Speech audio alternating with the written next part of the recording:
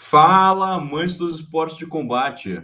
Hoje a nossa resenha é muito especial porque a gente trouxe um comentarista aí veterano, veteraníssimo do esporte, do Sport TV, Daniel Fux, para comentar o desempenho dos boxeadores brasileiros nas Olimpíadas de Tóquio, que se encerraram no último domingo.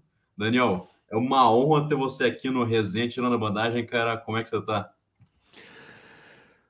A satisfação é toda minha, Antônio. Saudações pugilísticas, amigos do Tirando a Bandagem. Você viu que eu quase errei, né? Mas não errei, né? pô, maravilha, cara. E, pô, começando logo de cara com os nossos boxeadores, como a gente estava falando antes da transmissão, o, o melhor resultado que o Brasil já teve aí em Londres, a gente conseguiu três medalhas também, mas foram dois bronzes e uma prata e dessa vez a gente conseguiu um bronze, uma prata e um ouro, né, cara? Coisa que a gente só tinha conseguido antes com o Robson em 2016. E o cara que foi, que conseguiu essa, conseguiu o lugar mais alto no pódio foi o Ebert Conceição, que fez, pô, lutas duríssimas aí no, durante, é, nas chaves dele, e que teve algumas decisões ali até que foram um pouco mais apertadas do que pareciam ali, do que deviam ter sido, né, cara? E venceu a final com uma, uma cena digna de Rock Balboa aí, filmes épicos aí do boxe. Ele só já, já tinha perdido os dois rounds, né, cara? O, o segundo round foi um pouco mais parelho ali, mas o ucraniano estava melhor no volume, né? E tinha conectou uns golpes na cabeça ele também, enfim, uma situação dramática ali, mas o Ebert conseguiu cruzar uma canhota fortíssima ali encerrar a luta. O juizão também é assim, para mim, parece que, que, quis fazer um pouco a alegria dos brasileiros, porque no terceiro segundo já já mexeu os braços encerrando ali, cara. O que, que você que, que você nos diz sobre esse combate aí, cara? O que, que você achou dessa, dessa jornada aí do boxe em Tóquio, cara? Do Ebert? Bom, quer, quer falar primeiro do Ebert, né? Vamos falar primeiro do, do, do Ebert. É. Ele, ele não só perdeu os dois primeiros rounds, como ele estava sendo inferior no terceiro round também. Uhum. É, é, o que ocorreu ali é que eu vi algumas pessoas, até que não estão no meio do boxe, gente que gosta de esporte de maneira geral, que inclusive é, escreve so, sobre esse assunto, dizer que foi um disse que foi um golpe de sorte, outro disse que, que uh, o resultado talvez não tenha sido justo, etc. A verdade é o seguinte: eles treinam a, a, equipe brasileira ela treina muito tempo, inclusive com excursões, com, com participação de torneios internacionais. As pessoas não sabem, mas a, a Confederação Brasileira de Boxe recebe da Lei Piva, que é, que é um percentual que é retirado das loterias, ela recebe alguns milhões por, por ano, já teve um patrocínio gordo da, no passado da, da, da Petrobras. Então, isso tudo é aplicado, ou, grande parte desse dinheiro é aplicado no desenvolvimento, no aprimoramento dos atletas eh, brasileiros. Então, aquilo ali, aquele cruzado de mão esquerda que ele, que ele colocou, aquilo é, é, é, é é o treinamento que ele tem. Ele tem muito treinamento com relação a isso, não especificamente o cruzado, mas com relação a contra-ataques, com relação à postura dentro, dentro do ringue. Então, ali não teve sorte, não. Ali teve uma competência. Eu, eu o primeiro chefe que eu tive, né, o primeiro gerente que eu tive, ele dizia que a sorte era a coincidência da oportunidade com o esforço pessoal. Ele dizia, ele falava isso. E realmente ele teve, surgiu uma oportunidade e ele com esforço pessoal dele aplicou aquele, aquele cruzado que virou a luta. Você tinha falado a respeito do árbitro, né? Aliás, deixa eu fazer só uma colocação no boxe. É, os juízes são os, os, laterais, né? Que vocês chamam, que muitas vezes em outros esportes chamam-se de árbitros Isso. laterais, mas são os juízes, são os que julgam a luta, também chamados de jurados. E o árbitro é aquele que, que, que está em cima do ringue. Uhum. É, o posicionamento do árbitro ali, é, ele fez a contagem um, dois o que acontece é que me parece que o russo cometeu um equívoco. Eu já, já tive oportunidade de falar sobre isso. Ele levantou muito rápido. Né? Sempre existe uma orientação para guardar os 6, 7 segundos para ele poder se recuperar na lona ainda, mas ele quis mostrar que ele estava bem. E aí se levantou meio desequilibrado e o, e o árbitro, nas costas do russo, encerrou a luta, né? com a contagem em dois ainda. É, aquilo pela, pelo regulamento do boxe, tanto profissional como ali o boxe olímpico, open box, como queiram chamar, é, seria o RSC, que é a abreviatura de Referee Stop Contest. O árbitro interrompeu o combate. É, e não exatamente o nocaute. Mas isso não faz muita diferença, porque o que importa é que seja um nocaute ou seja um RSC, a verdade é que ele não estava em condições. Depois que o árbitro interrompeu, eu percebi o pé do russo dobrando, tentando andar, e o pé dobrando. É o pé direito, se vocês tiverem a oportunidade, vão assistir. Ele dobrou, o que significa que ele não estava bem.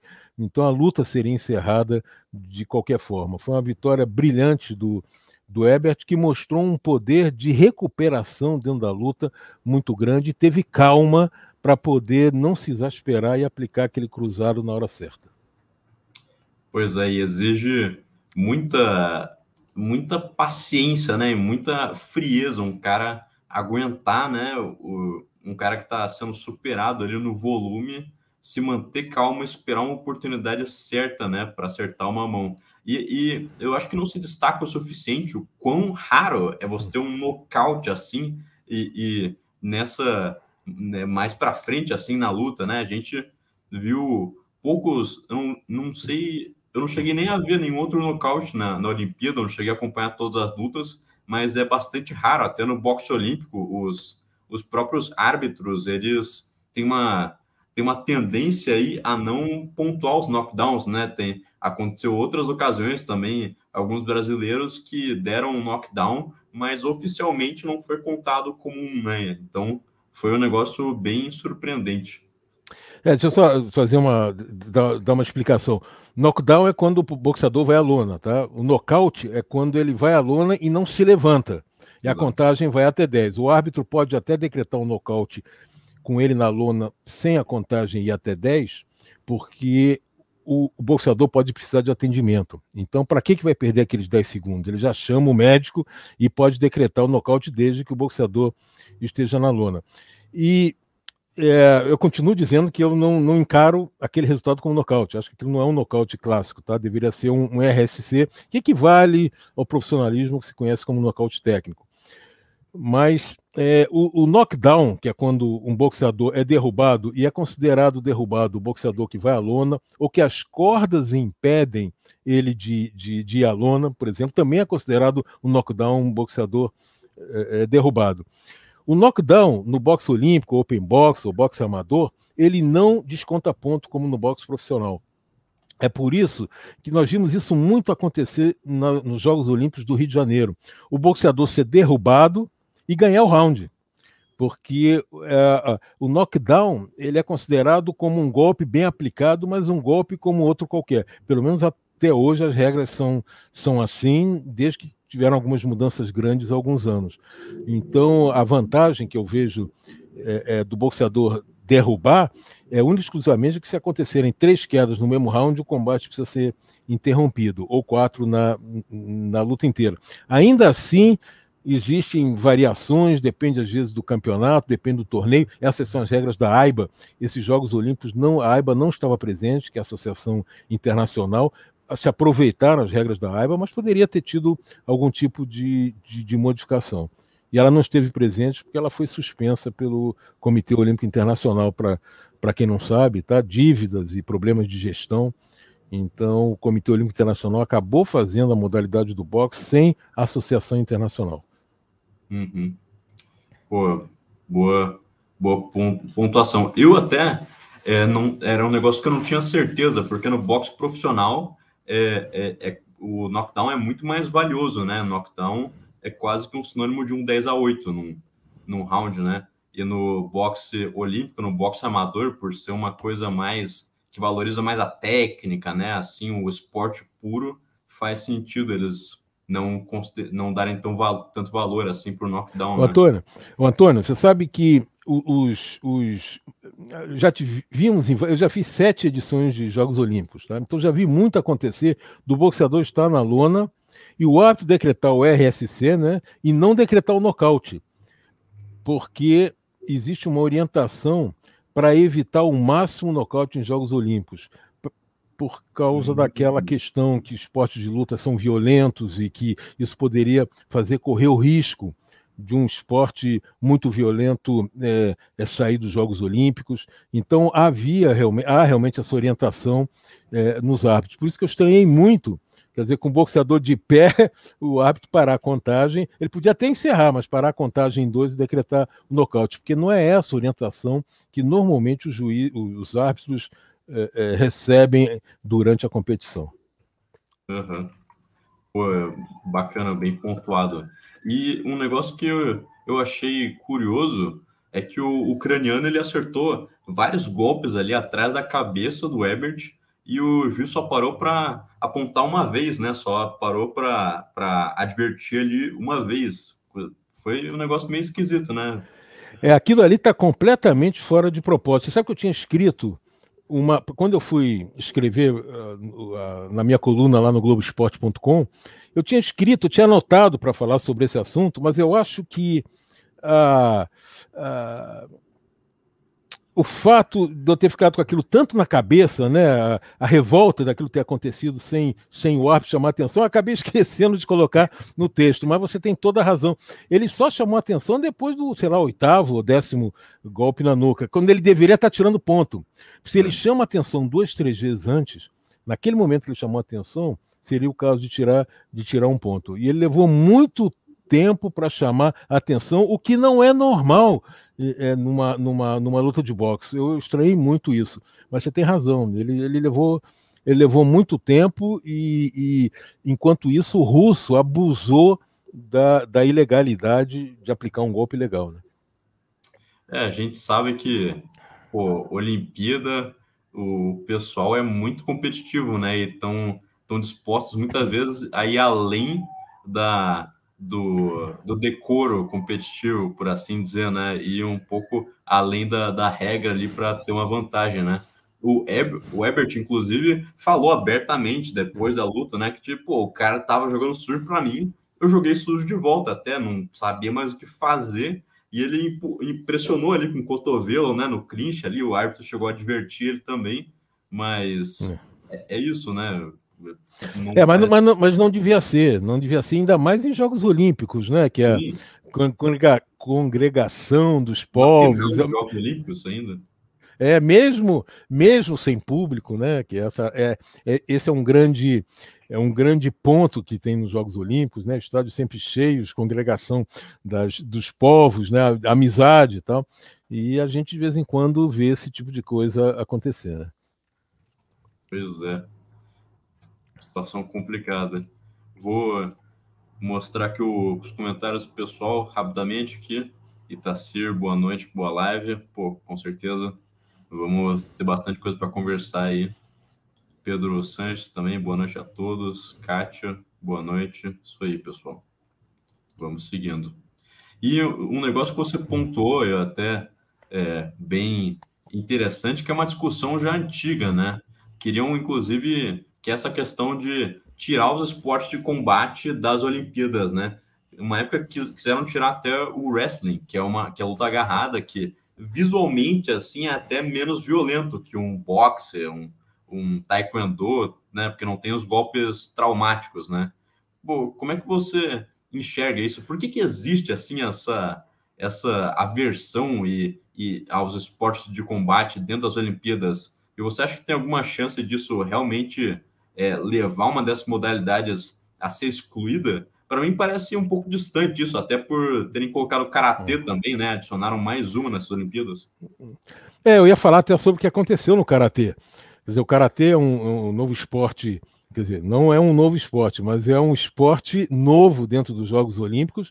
E um boxeador na final foi desclassificado quando, quando o, o adversário partiu para cima e levantou o pé, e é como se fosse um golpe de encontro. Ele bloqueou a entrada do adversário com o pé no peito, não foi nem na cabeça, foi, foi com o pé no peito.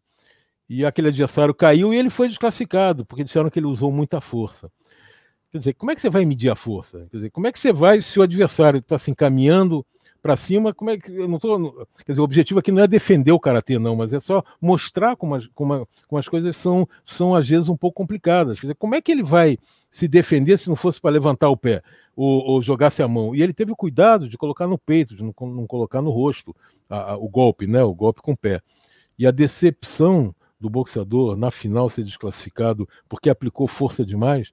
Então existe isso porque existem correntes que são contra esportes de luta, como existia antigamente correntes que eram contra mulheres né, nos esportes, inclusive de lutas.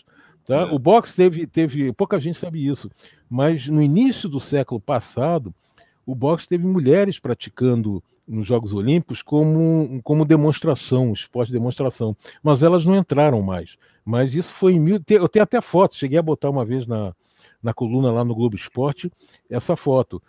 É, de mulheres disputando com, com, com, roupas até o calcanhar e tal, mas estavam fazendo o esporte exibição.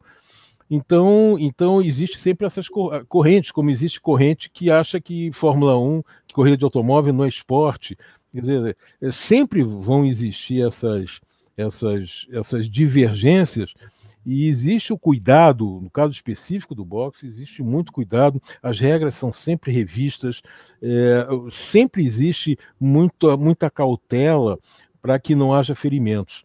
Uma delas é essa: o boxeador está mal, então você para a luta e encerra, encerra o combate. Foi o que aconteceu em parte com, com, com o boxeador, que, com o russo que enfrentou o Ebert. Né? É, são as correntes que são favoráveis, correntes que são contra, e isso não vale só para esporte de luta. Existem alguns outros esportes que também existem correntes contrárias. E vamos convivendo, esperando que a administração atual não tire os esportes de luta dos Jogos Olímpicos, porque eles são muito tradicionais, principalmente o boxe. Eu tenho fotos dos antigos jogos, fotos não desenhos, né, dos antigos Jogos Olímpicos, que se praticavam na Idade Média e tal, que era, as regras eram completamente diferentes, os boxeadores usavam tiras de couro em, em volta da, da, mão, que era para machucar mesmo, né? É. E, é, e, e, as regras vão se modificando. Cortar, né? As é, tiras é, de couro cortavam mais, né? É, a, as luvas, para quem não sabe, a luva no boxe, ela existe para proteger a mão do boxeador, não é para proteger o rosto do adversário. Elas foram criadas para proteger a mão do boxeador, porque havia muita fratura nas mãos. Posteriormente, com a evolução do esporte, elas foram crescendo de tamanho, foram tendo um acolchoamento maior por dentro, acolchoamento responsável pela metade do peso da luva, da, da luva que é também para proteger o, o adversário, para proteger o, o, lutador que está recebendo o golpe. Mas o motivo da criação das luvas foi proteger as mãos dos boxeadores. Uhum.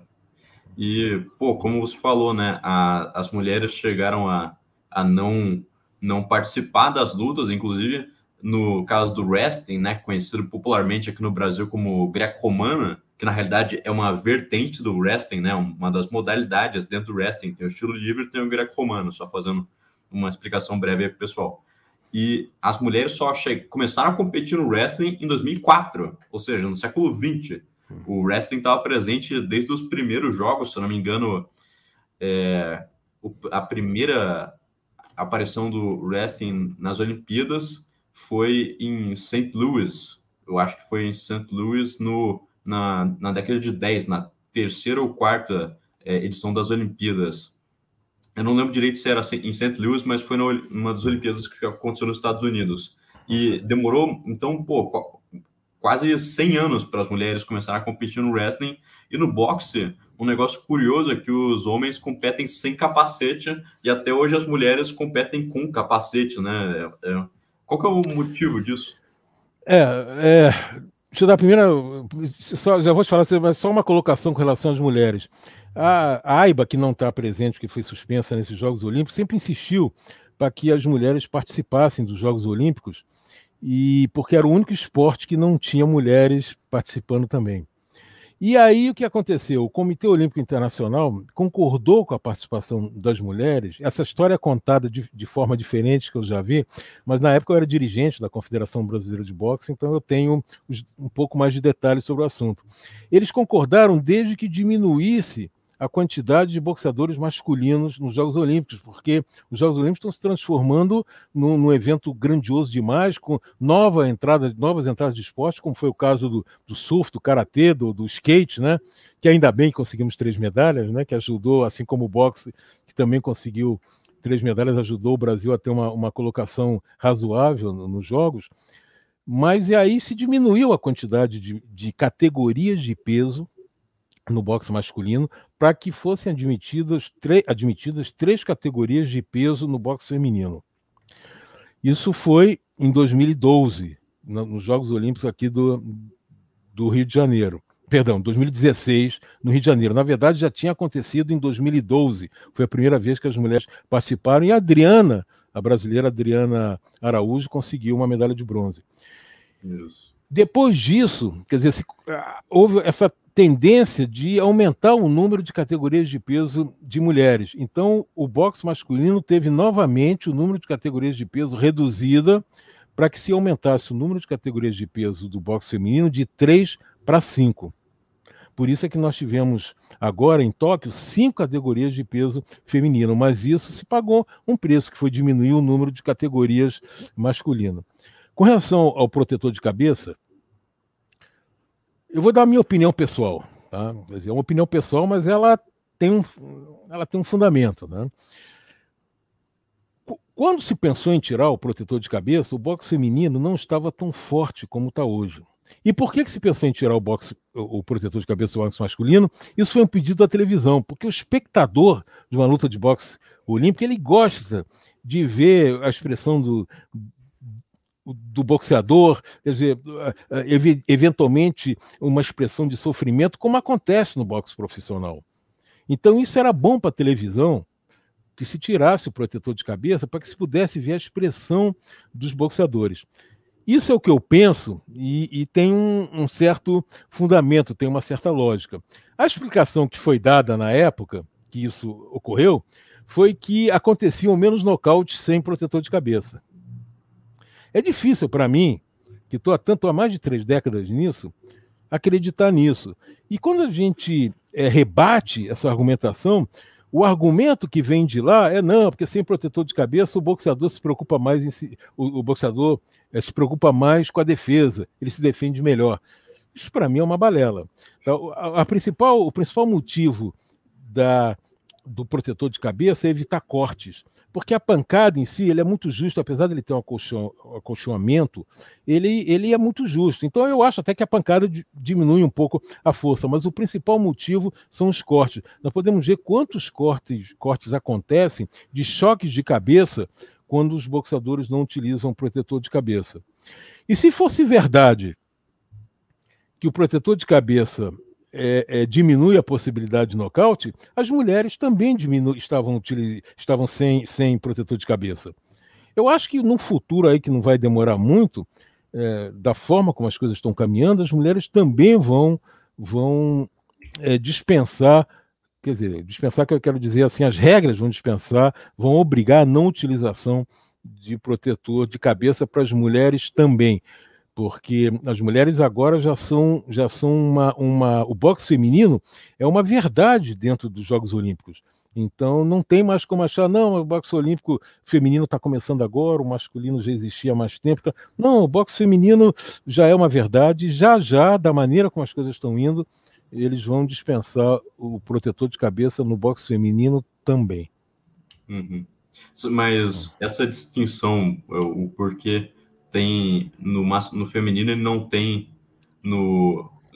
Por que, que tem no feminino e não tem no masculino? É uma coisa mais de repente é, não uma aversão do espectador a, a ver a mulher muito ferida ali, talvez. Não, eu, eu até pode ser, né? Quer dizer, eu, eu, o problema é quando a decisão foi tomada, se pensou só no boxe masculino, não se pensou em boxe feminino, nem em cadetes que é boxeadores de 15 e 16 anos de idade. Existem, inclusive, campeonatos mundiais de cadete. Se pensou só no boxe, no boxe masculino. Talvez porque os choques de cabeça no boxe masculino é, é, ocorressem mais vezes. Eu não sei, eu não sei, eu não, eu não tenho uma explicação. Na verdade, eu, eu acho que tinha que ser, se é para diminuir os nocautes, que não é verdade isso, quer dizer, não dá para acreditar numa coisa dessa, que o boxeador vai se defender melhor. Se fosse para isso, tinha que tirar do boxe feminino também. Pois é. É um negócio um tanto nebuloso é. aí no esporte. E falando ainda do Herbert, ele que é um cara que teve ali depois, acho que foi depois da luta dele com o Uzbek, que ele enfrentou, ele é, soltou o verbo ali em frente às câmeras. É, tá falando dos palavrões? Tá falando? Falou palavrões ali.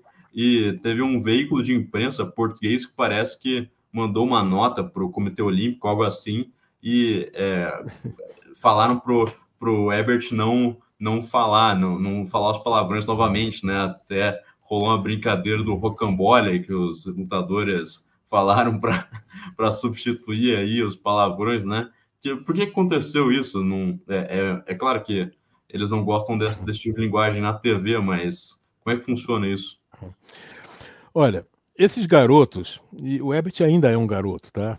Quer dizer, ele tem 24 mais, anos, né? Tem 24 anos. Para mim, ele é um garoto, né? Para minha idade, ele é, ele é um garoto, né?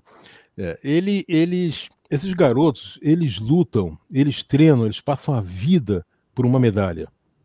Tá? É preciso que se leve isso em consideração. São horas diárias de treinamento, muitas vezes longe da família.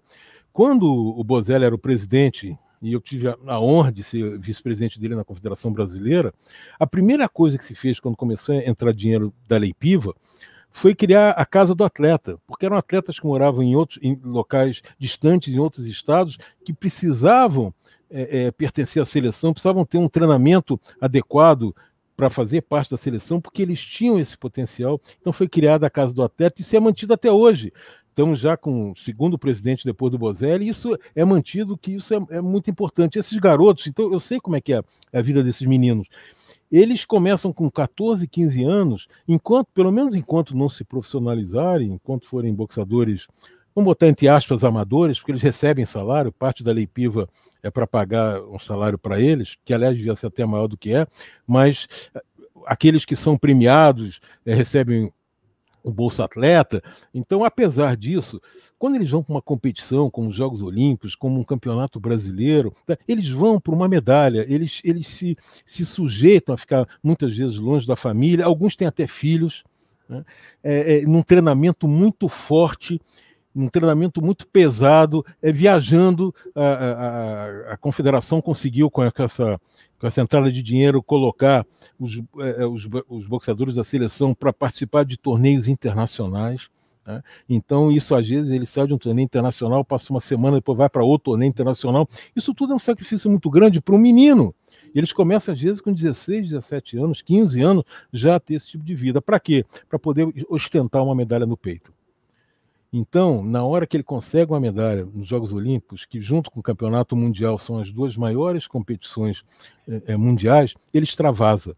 Quer dizer, o Herbert não conseguiu se controlar, aquilo foi, ele extravasou tudo aquilo que ele vem passando ao longo dos anos, aquele sacrifício, até emociona um pouco a gente de falar nisso, porque quem conviveu com eles, quem vive nesse, nesse meio, sabe como é importante uma medalha para esses, esses boxeadores. Você sabe que nos cursos, eu, eu, eu, já ministrei alguns cursos de arbitragem. Eu sempre comento com, com, os, com os árbitros, com os juízes, nós não temos o direito de ir para uma, uma para uma competição, para julgar uma luta ou para arbitrar um combate, se nós não estivermos 100% preparados. O erro pode até acontecer, mas subir no ringue sem estar preparado, isso não pode ocorrer, porque aquele boxeador que está lá em cima do ringue, lutando com outro, ele não está lutando por dinheiro, ele não está lutando por outro motivo a não ser a conquista de uma medalha. Aquilo é a vida deles, aquele, aquele é o esporte que eles escolheram para o resto da vida. Por isso é importante que os árbitros, os juízes estejam bem preparados, porque você pode, às vezes, estragar estragar uma carreira de um atleta com uma decisão errada. Cometer um erro é uma coisa, agora tem que ir bem preparado, porque eu já vi atletas é, decepcionados, às vezes, com uma atitude que eventualmente aconteceu errada e teve vontade até de desistir. Então é importante isso, quer dizer, é importante a gente saber por que, que esses, esses boxeadores, por que, que eles sobem no ringue para se baterem e, e, e, e para terem um, uma forma de poder é, é, ter uma participação maior dentro da sociedade. Pô, realmente é, um, é difícil controlar o, que está acontecendo e é uma conquista muito grande, né, para eles. É, não, não sei se as coisas deviam ser tão rigorosas aí, mas enfim, tem patrocinadores, tem, tem outros interesses aí, né, que exigem uma. O pessoal prefere uma linguagem mais, mais comedida, né? É, mas ali, ali, o Antônio, ali foi uma, foi uma, ali ele extravasou, ele, ele perdeu, ele não teve o controle. Ali foi aquele momento que acabou, quer dizer, naquele momento acabou pelo menos naquele período, né? Nesse ano acabou o período olímpico naquele momento. Então não tinha mais nada para fazer nos Jogos Olímpicos e ele acabou extravasando. É como alguém que grita quando, quando tem um gol no futebol, né? Quanta gente a gente não, quantas pessoas nós não conhecemos que gritam, vão para a janela gritar gol e tal. E aí ele, ele, ele extravasou. Eu entendo do comedimento de pensar. Agora um, alguém da imprensa lá de Portugal reclamar, ele não devia ter falado palavrão. Ah, é só se colocar um pouquinho no lugar dele. Não é uma coisa que ele fala todo dia, que ele faz toda hora. Foi no momento que ele, que ele ganhou a medalha olímpica. É, foi. É, ele tinha falado em outras lutas também anteriores, mas enfim, eu não sei se devia ser, ter esse rigor assim, né? É, mas... também acho. Enfim. Eu também acho. Eu também acho. Deixa extravasar. Pô. Pois é. E falando agora da, da nossa medalha de prata aí, Beatriz Ferreira, que era pô, a favorita, na realidade, né, para ter o melhor resultado aí nessas Olimpíadas, que foi, ela inclusive foi a, é a atual campeã mundial dos pesos leves femininos, né? Venceu em 2019 o torneio mundial e teve um do, domínio ali absoluto nas lutas que ela fez até a final, né? Uma grande é, vantagem na potência sobre as outras atletas, apesar de ser mais baixa, bem mais robusta, bem mais forte, né? E e batia bem mais forte, que é um, até um critério que, como você falou, não adianta muito no boxe amador, mas que impressiona bastante. E ela fez uma final bastante disputada com a Kelly Harrington, né? E que acabou dando a vitória para a irlandesa. Se, o pessoal falou que de repente ela devia ter levado ouro e tal. Eu achei uma decisão justa, assim. O que, que você achou dessa luta, Daniel?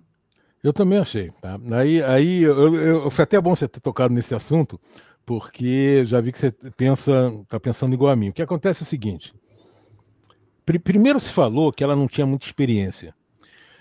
Dos últimos, sei lá, 25, 30 torneios que ela participou, inclusive internacionais, ela foi medalha de ouro, foi medalha de prata, inclusive no Campeonato Mundial. Ela era reserva da Adriana Araújo em 2016. Ela estava com a seleção em 2016. E ela era, ela era a reserva da Adriana, que era medalhista, e ela faltou pouco. Ela poderia até ter participado, não sei se ia ter o sucesso, em 2016, mas nesses últimos anos ela teve muito sucesso. Tá? Ela só não recebeu medalha em um dos torneios internacionais que ela, que ela participou, e normalmente era ouro ou prata. O que acontece é o seguinte: aonde eu vejo a vantagem da Bia não é nem tanto na força, é na velocidade. Eu fiz karatê. E eu me lembro disso, do, do, mestre falando como era importante aplicar o golpe com velocidade. Isso naquela época, eu era adolescente, porque a velocidade faz aumentar a força. Né? E a Sim. Bia é muito veloz. Não é só porque aumenta a força, é porque ela consegue disparar o golpe antes da adversária conseguir defendê-lo. Então, às vezes, ela disparava dois golpes e conseguia atingir os dois. Eu acho que, que essa é uma, uma das vantagens que a Bia levou em outros torneios e nas lutas nas lutas é, ante, anteriores à final dos Jogos Olímpicos. Eu vou te contar uma coisa, eu só fui ver a luta da Bia ontem, porque eu não assisti a luta, aquela final, aquele dia eu não pude assistir as finais, e ontem eu fui assistir a luta da Bia e todo mundo falava muito no terceiro round. Eu me, eu me fixei muito no terceiro round, porque normalmente os comentários que eu ouvi é que a luta estava muito equilibrada no primeiro e segundo round, uma venceu um round, outra venceu outro, mas o terceiro que foi decisivo.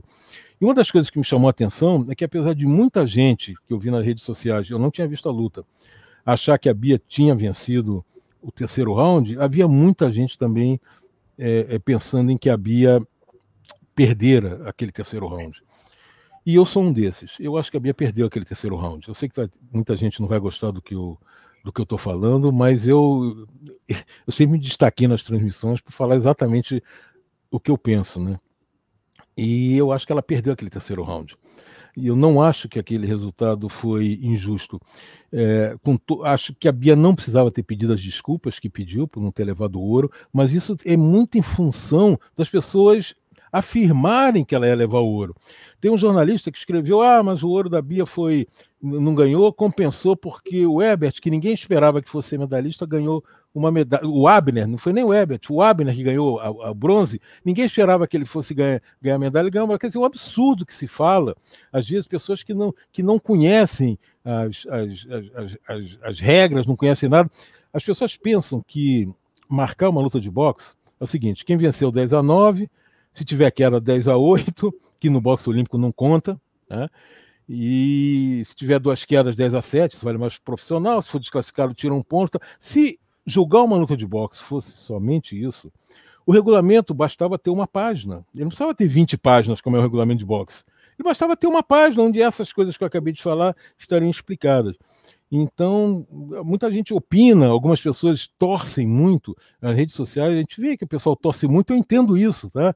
Eu, eu ficava, atualmente menos, eu ficava louco quando o Flamengo perdia um jogo, né? Perdeu agora de quatro internacional. Aí eu me testei, eu já não sou tão, já não fico tão louco como eu ficava antigamente mas, mas é, é, marcar uma luta de boxe, você precisa ter conhecer o regulamento, você precisa viver dentro do meio, precisa assistir as lutas, precisa é, nem que seja marcar, não oficialmente, mas depois comparar o que você fez. Precisa ter alguém analisando, você vai marcar não oficialmente, alguém analisando o que você marcou para te instruir. Por que, que você fez isso? É assim que se faz um curso de boxe. Os cursos de boxe que eu ministrei sempre foram assim.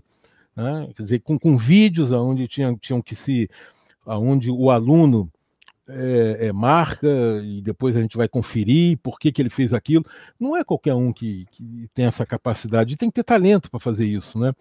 É, e eu, por isso é que eu, voltando ao assunto, eu acho que a Bia perdeu, o que não significa que ela não poderia ter ganho aquela luta. Mas aquele terceiro round foi muito esperta a adversária. Ela tinha braços mais longos, ela tinha envergadura maior, ela se desviava e jogava tocava adversário. Hoje o toque não é tão importante como foi há alguns anos, mas ela acabou atingindo mais vezes a Bia. Volume de golpes, isso é outra coisa que eu quero falar. Eu vejo muitas pessoas falar, ah, mas fulano teve mais volume de golpes. Não importa que ele teve mais volume. Tá? Um boxeador jogou 30 golpes e acertou 4. O outro jogou 20 e acertou 8. Quem vai ganhar aquela luta, claro, tem outras circunstâncias, mas a grosso modo, quem vai ganhar é o que acertou menos, o que jogou, lançou menos golpes, mas atingiu, atingiu mais vezes. Tá? Esse é um ponto. Outro ponto que eu vejo, às vezes, as pessoas falando: ah, mas Fulano dominou o centro do ringue, como é que ele perdeu aquela luta? Eu já ouvi isso falar, eu já ouvi isso várias vezes, gente falando assim.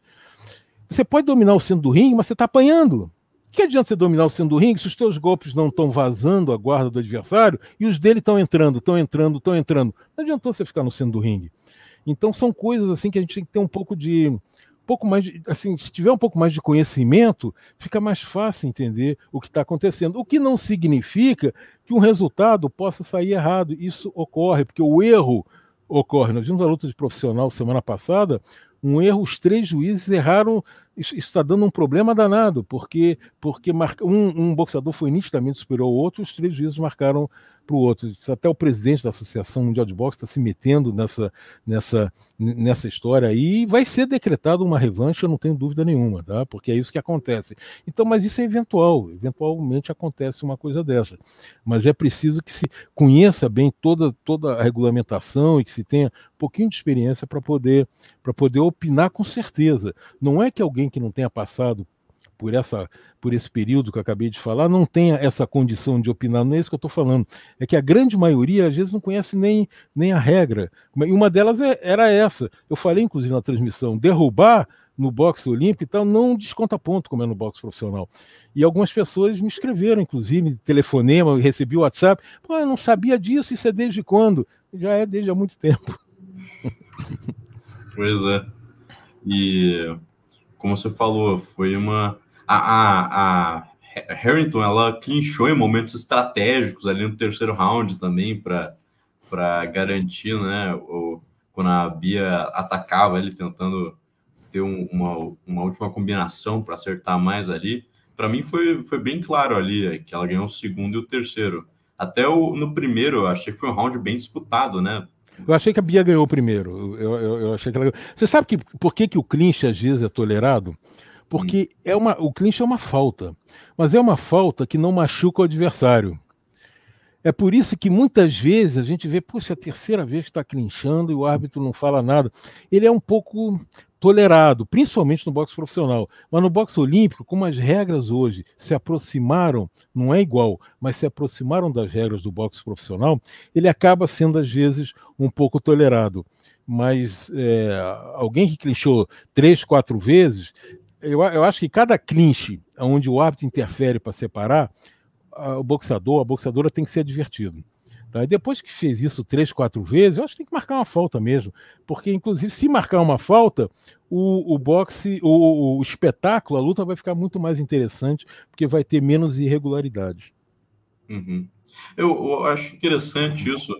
Pra, é, quando que começa assim o que se chama de clinch como falta? Porque, para mim, eu vejo muito que acontece uma dinâmica de luta bastante interessante, às vezes no clinch, ali os golpes que acertou no clinch, às vezes segura ali atrás do pescoço para acertar os uppers. Eu acho que tem uma gama de golpes diferente, assim, dá para ter uma luta entretente com os caras no clinch. O que, que você diz sobre clinch, assim? Clinch é quando o cara tá só no antijogo ali segurando, ou clinch segurando e golpeando já vale como clinch também? Olha, se segurar, tá clinchando, tá, tá, tá? Você não pode segurar, é uma falta, é uma irregularidade. Isso que você falou de segurar com a cabeça e dar o upper, isso é uma falta, e é grave essa falta, porque, porque o, o, o pode causar um dano muito sério. Eu, eu, acho que segurar a cabeça e aplicar um upper é quase o mesmo dano de aplicar um golpe na nuca. Eu vejo isso assim como um dano muito sério. O que acontece é o seguinte: às vezes você vê que o combate está prosseguindo, por quê? Porque o árbitro percebe que quem está segurando um braço do adversário está levando do adversário com outro braço o golpe. Então ele está segurando o braço esquerdo, mas a direita está entrando nele. Nessas horas, o árbitro não deve mesmo interromper, porque senão ele vai beneficiar o infrator. Entendeu? Ele beneficia o infrator se, se ele separar. Porque o, o infrator está provocando a irregularidade, está levando o golpe, então deixa acontecer. O que não pode é se ele golpear, segurar um braço e golpear. Aí o árbitro tem que tem que, tem que interferir. Existem alguns momentos, às vezes, que o árbitro deixa passar dois, três, quatro segundos para ver se eles se soltam sozinhos, para não precisar ficar interferindo toda hora. Então ele deixa passar uns três, quatro segundos. Quando ele vê que não tem jeito, a coisa, eles não estão se soltando, aí existem dois comandos que ele, que ele, que, que ele aplica. O primeiro é o comando de break, onde o boxeador tem que dar um passo para trás e pode continuar a boxear. Se um dos boxeadores não dá não, não, não caminha para trás um passo, ele, em teoria, né, pela regra, ele não pode boxear. Por isso que os dois têm que dar um passo para trás para se livrarem daquele agarramento, daquele clinch. Tá? E o comando de stop. Stop é um comando que se dá, ele dá o comando de break. Se, se os boxeadores não se é, é, não saem do clinch, aí ele dá o comando de stop. O comando de stop tem que parar completamente as, as, ações, porque o árbitro tem alguma coisa a fazer. Ou ele vai chamar atenção, ou ele vai, ou ele vai é, trazer os árbitros, tiverem, os, os boxeadores, se estiverem muito perto das cordas para o centro do ringue, mas o comando de stop ele tem que parar completamente. Então eu vi nesses Jogos Olímpicos acontecer exatamente isso aconteceu o clinch, em algumas vezes quem estava sendo agarrado tá, continuou golpeando contra o braço o árbitro deixou correr, em outras vezes o árbitro deu o comando de break, que não foi respeitado, e aí ele parou a luta com o comando de stop e advertiu a cada um dos, dos boxeadores. Pô, tá aí a nossa explicação extremamente técnica do nosso comentarista Daniel Fux aí, muito bem.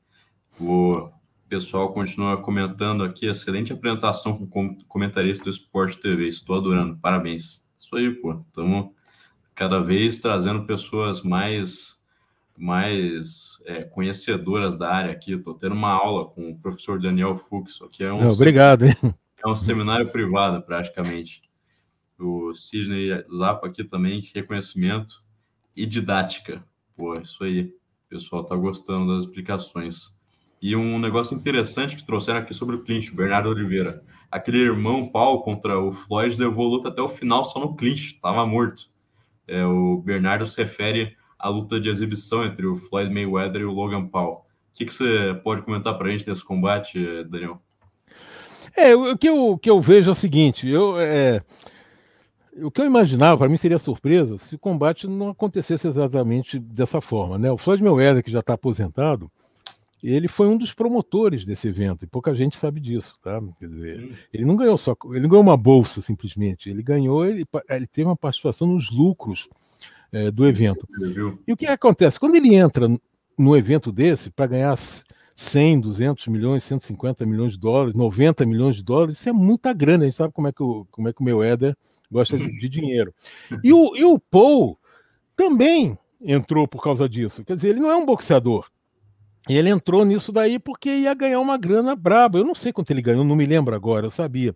Não sei se foi 20 ou 25 milhões, assim, para fazer uma apresentação. E, e aí a gente, eh, quer dizer, eu, eu não vejo, não é uma coisa que me agrada muito, assim, eu, de ver esse tipo de coisa acontecer. Como aconteceu com Mike Tyson, com Roy Jones Jr., que aconteceu ano passado, com o Sport TV.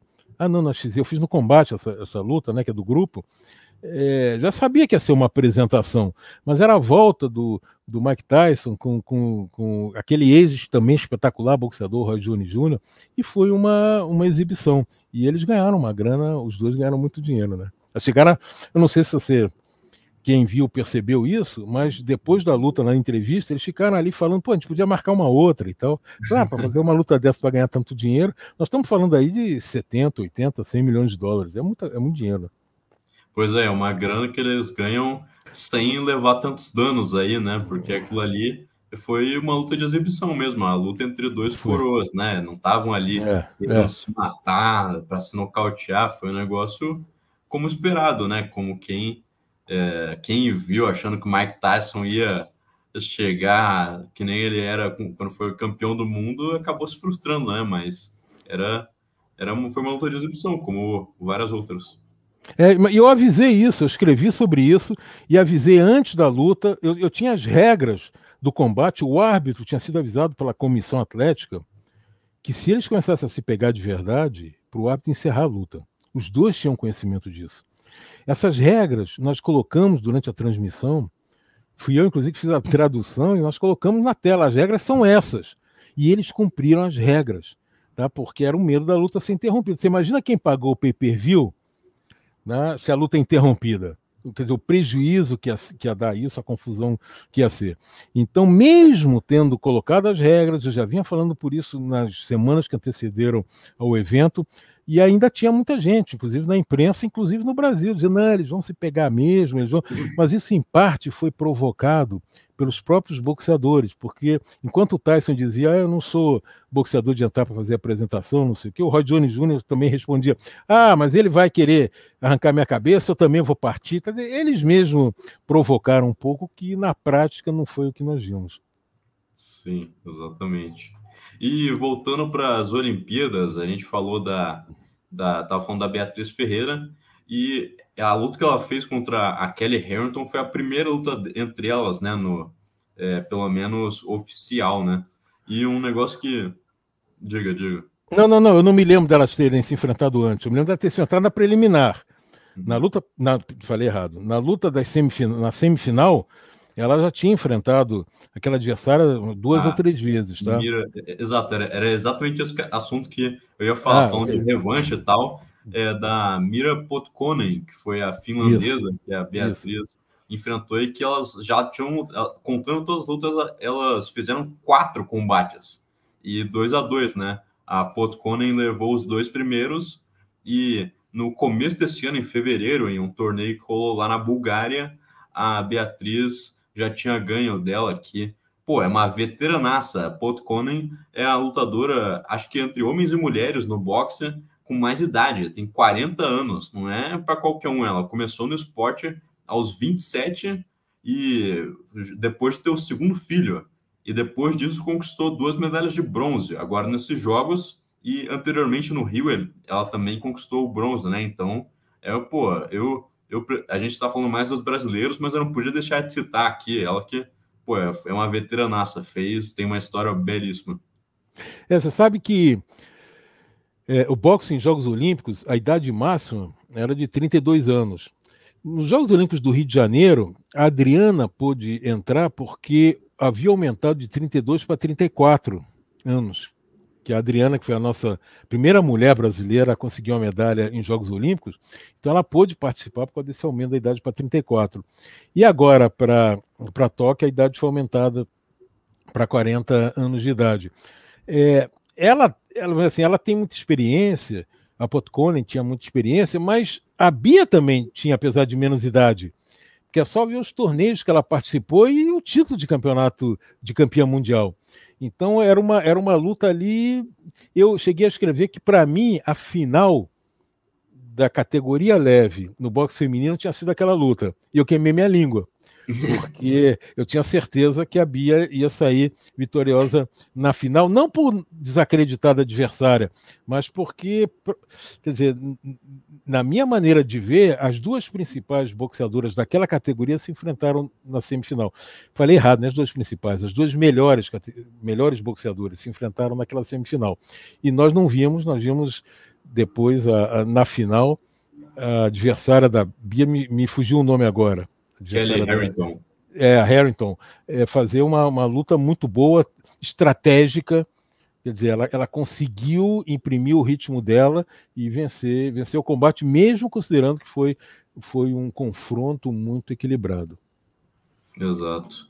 E uma, o Bernardo traz uma questão interessante aqui. É, o, você até falou que os knockdowns eles não são considerados no boxe olímpico, mas é, você falou também que não, não basta só tocar, né? É um negócio que não é tão, tão levado em consideração hoje. Então, até eu fiquei um pouco com dúvida, assim, é, a, a contundência é levada em consideração no boxe olímpico ou é mais tocar mesmo? Como é que é? Deixa eu te falar, o que, o que é um golpe válido? É o golpe que bate com a parte frontal, não vale isso, não vale isso, como acontece em outros esportes, não vale isso. O que vale é golpear com a parte frontal. Tá? Isso é o primeiro ponto. Punho, né? Hein? Os punhos. É, é, é, é. E isso, isso, isso é o que, para os juízes que estão marcando, é o que vale.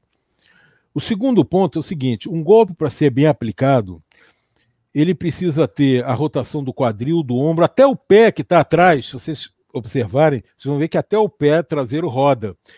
Que que, por que, que acontece isso? Porque isso faz com que haja uma maior contundência. A contundência vai fazer o adversário sofrer mais. Na hora que ele levar um golpe desse, se ele não pratica isso, ou ela não pratica isso, e só joga o golpe, sem jogar, fazer a rotação do quadril, do ombro, do pé, ali que, que roda também, tudo isso dá força, dá contundência no golpe. Então, quando um faz isso, o outro não faz, a contundência acaba acaba tendo pode acabar tendo um peso maior. É, numa luta equilibrada, se um dos boxeadores está soltando o jebzinho, acertou três jebs, jeb é aquele golpe curto que é dado com a mão que está na frente, e o outro acertou três ganchos com violência, acaba sendo favor, ele acaba sendo favorecido. Tá? Mas a contundência não é o que conta, não é o mais importante. O mais importante é o número de golpes que atinge o adversário da forma correta, com a parte frontal da, da luva, com a rotação do quadril. Tá? É isso que é um golpe aplicado de forma correta. A contundência pode levar à lona, a contundência pode levar ao boxeador a cansar. Nós vimos isso nos Jogos Olímpicos. Boxeadores que levaram muitos golpes nos primeiros dois rounds e no terceiro não conseguiu nem ficar direito com a guarda levantada. Quer dizer, eles estavam preocupados em tentar se defender e aí a coisa piora de vez, né? Porque aí a, a, a, o terceiro round ele, ele fica completamente entregue. Uhum. Pois é.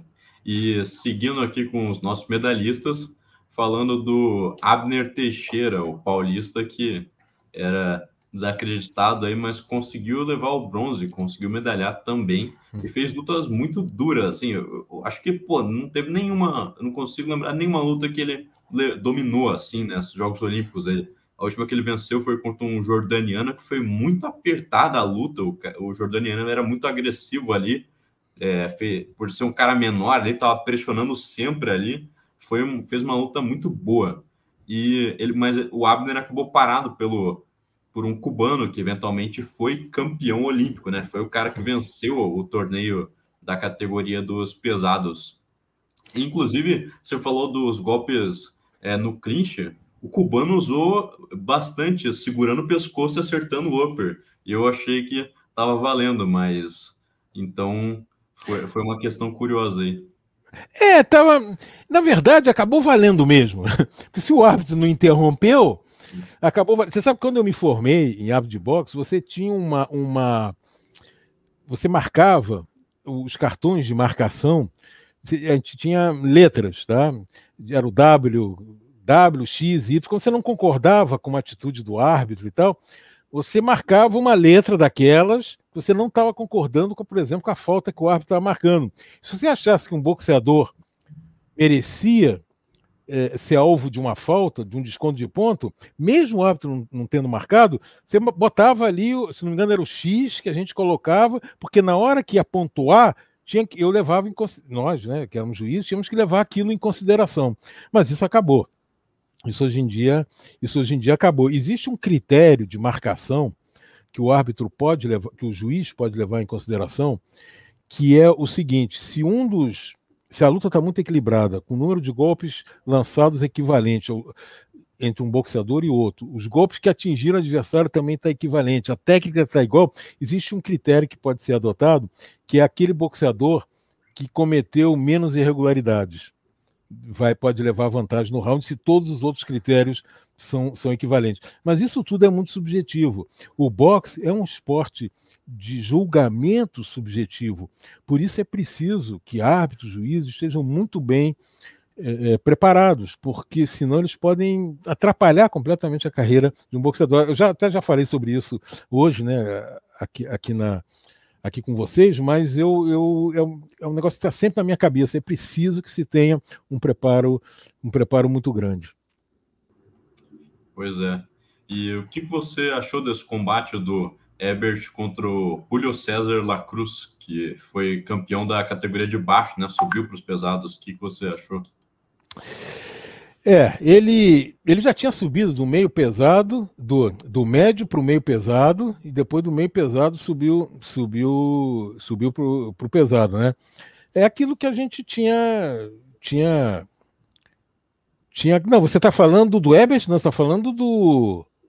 Do Abner? Do, Abner, exato. Do é, Abner. É, você falou Ebert, aí agora. É, não, tá falando, tá, tá, falando do Abner. Eu não sei se você percebeu, eu coloquei essa foto no, no Globo Esporte. A, o, o, o, o Abner se jogou numa das lutas no chão. Enquanto o Ebert falou palavrão, o Abner se jogou assim que teve a vitória e deitou com os braços abertos. E a gente vê na foto o adversário parado ali, olhando para ele. Cada um tem uma forma diferente de extravasar. O Abner, para mim, não chegou a ser uma surpresa.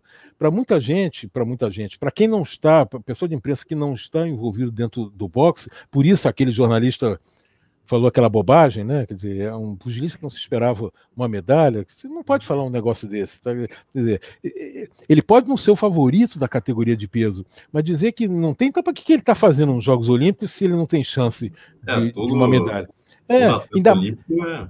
É, quer dizer, a, a, ele quer ganhar, ele está indo lá para ganhar a, os Jogos Olímpicos, ainda mais a preparação em atletas de ponta, como foram esses brasileiros, Tá? Quer dizer, tanto tempo investindo. E os Jogos Olímpicos foram adiados de 2020 para 2021. Então eles já viam desde 2018, 2017, ganharam mais um ano aí de treinamento intensivo. Para quê? Para entregar a luta.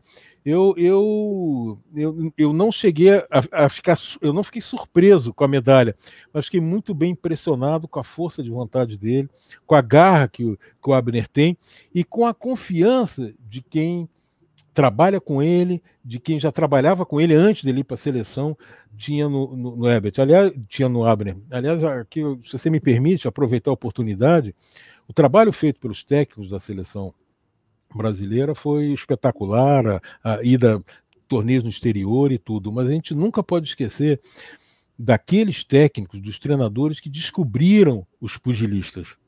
Tá? Quer dizer, que foram aqueles, aqueles treinadores que trouxeram pugilistas para suas academias, para os seus clubes, muitas vezes de maneira até gratuita. Normalmente esses boxeadores não, eles vêm de uma vêm de uma de uma uma classe de pessoas, né, de uma, de uma comunidade onde eles não têm como pagar o, a, a, as aulas, não tem como pagar o treinamento. Estou falando isso antes de, irem para a seleção.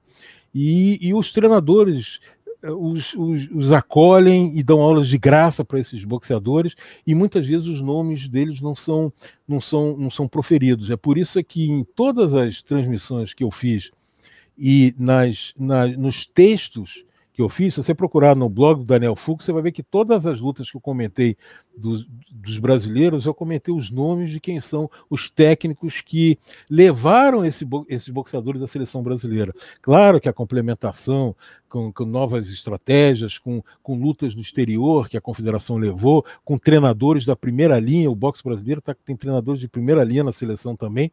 Isso ajudou muito, teve uma, contribu uma contribuição importante, mas não se pode esquecer daqueles treinadores que, que começaram a levar a carreira desses desses boxeadores. O, o Ebert, por exemplo, foi medalha de ouro, ele foi descoberto pelo Davi Bicho, que era, o, que era um treinador que achava que o, que o Weber tinha muito potencial. Depois o Marquinhos, trabalha com Dória lá na Champion, começou a dar aula para ele, até que o Dória assumiu. Mas não se pode esquecer que quem começou tudo nessa medalha de ouro, o primeiro treinador que o Herbert teve foi, foi o Davi. Tá? Isso, isso é importante, a gente está sempre falando isso, porque é o incentivo que esses treinadores têm para poder continuar esse trabalho de forma muito sacrificante, porque academias que não, não têm muitos recursos é, é financeiros, mas que eles estão lá, estão batalhando para o bem do esporte. Desculpa é, se eu me prolonguei nisso aí, tá? Mas é. Não, não que eu tenho... É uma bandeira que tem que ser é. levantada. Isso. E, pô, você lembrou esse, esse aspecto e todos os atletas brasileiros que foram para essa Olimpíada vieram de projetos sociais, né? Todos Isso. começaram em em, com treinadores voluntários que iam lá com, é, comprando equipamento voluntário ou com ajuda do pessoal, mas sem cobrar mensalidade. Então, isso é um, é um aspecto muito importante e eu acho que muito característico dos esportes brasileiros. E apesar de falarem que ah, tem que ter mais investimento público e tal, acho que, acho que é, uma, é, é uma, é uma vantagem, é um certo, existe um certo orgulho e um certo, e uma certo, um certo valor nesses atletas terem surgido de projetos sociais. Né? É, Antônio, é, o dinheiro que entra para a confederação é uma grana muito alta. Eu falei que são alguns milhões que entram por ano. E o pessoal reclama muito que os clubes e as academias, os projetos sociais, eles não recebem nada da confederação.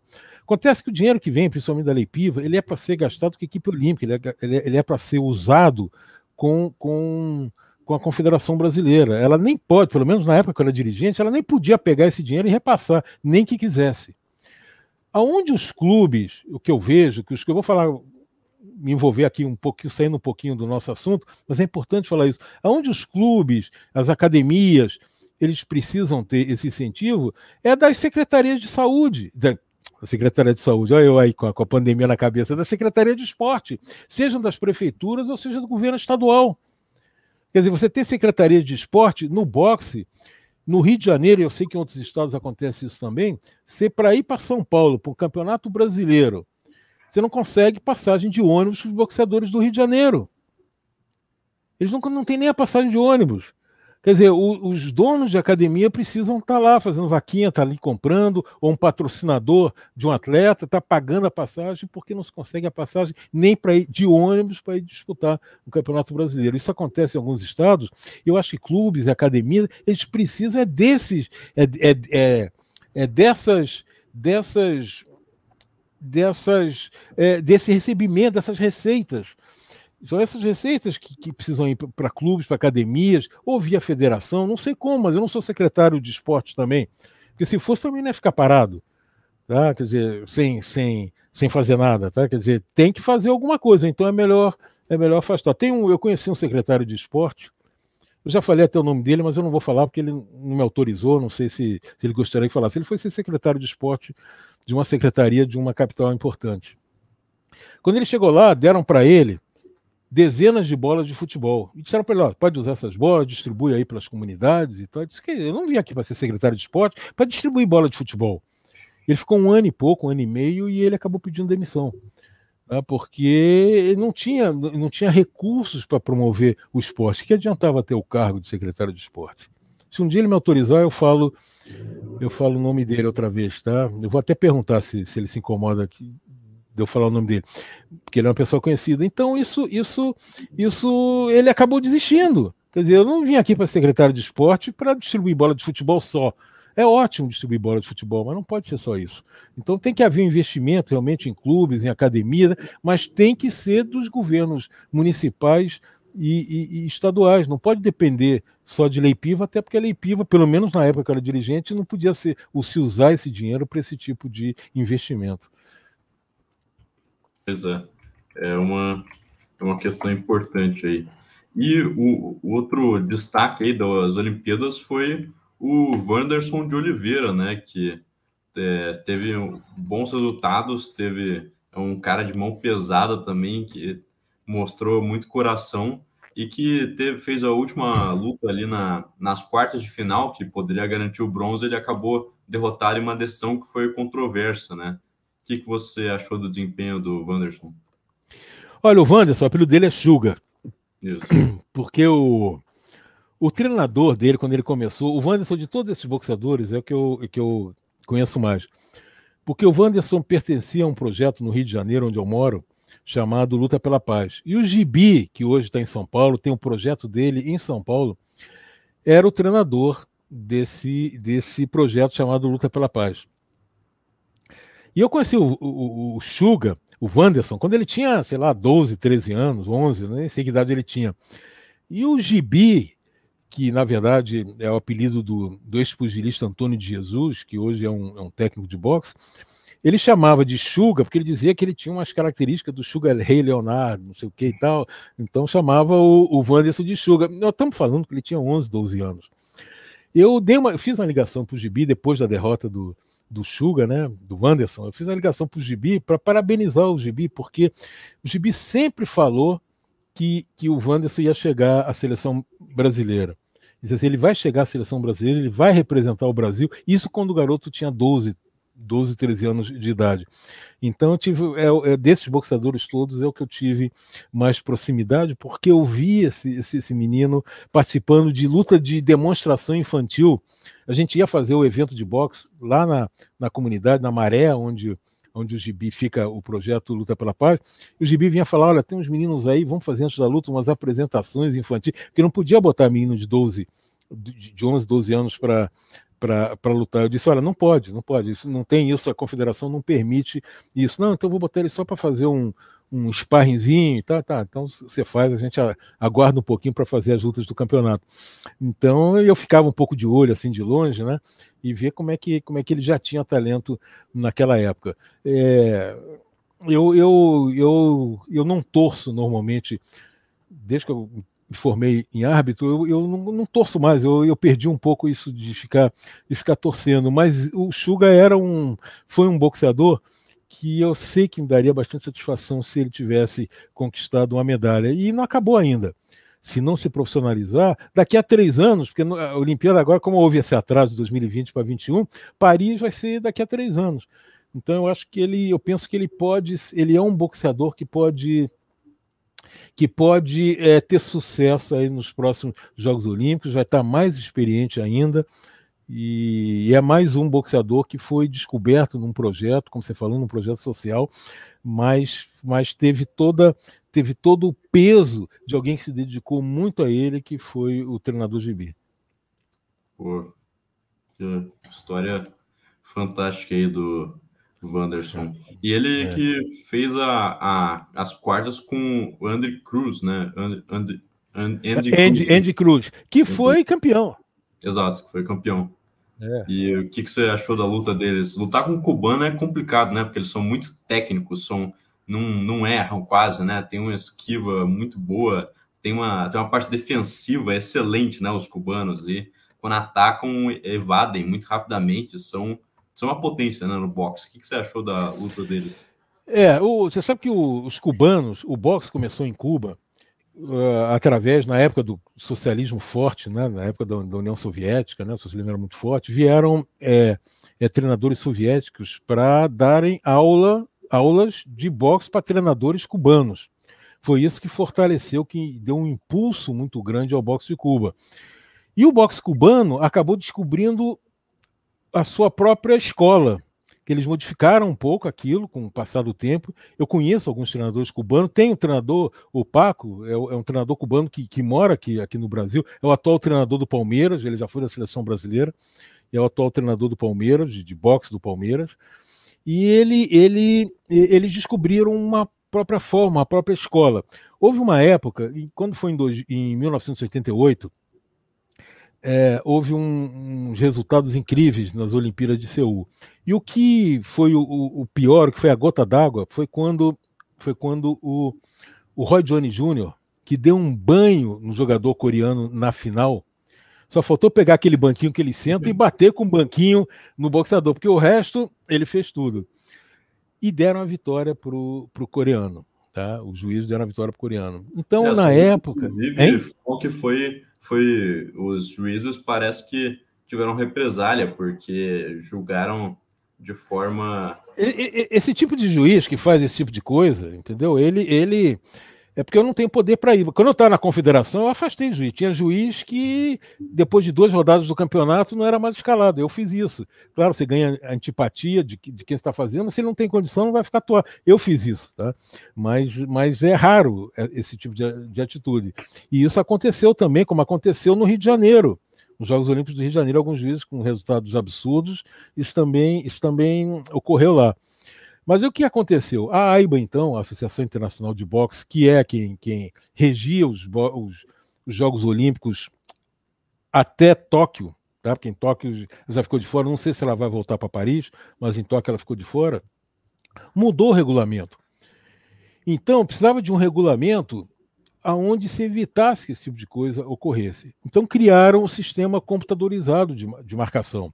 Cada juiz tem um terminalzinho Tá? Esse terminalzinho é ligado a um, a um computador central e os pontos passaram a ser válidos de uma maneira diferente. Você ia ter mais 10 a 9, 10 a 8, você podia ter 35 a 30.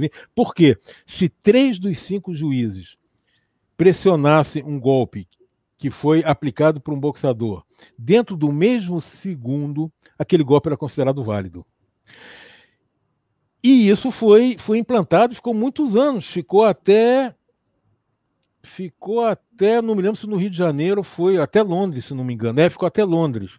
Não me lembro se no Rio de Janeiro é, já, já foi mudado, mas até Londres com certeza estava, em 2012. Então, o que, que, que aconteceu? É, os cubanos eles, eles conseguiram perceber, foram os primeiros a perceber que tinha que mudar a forma de lutar.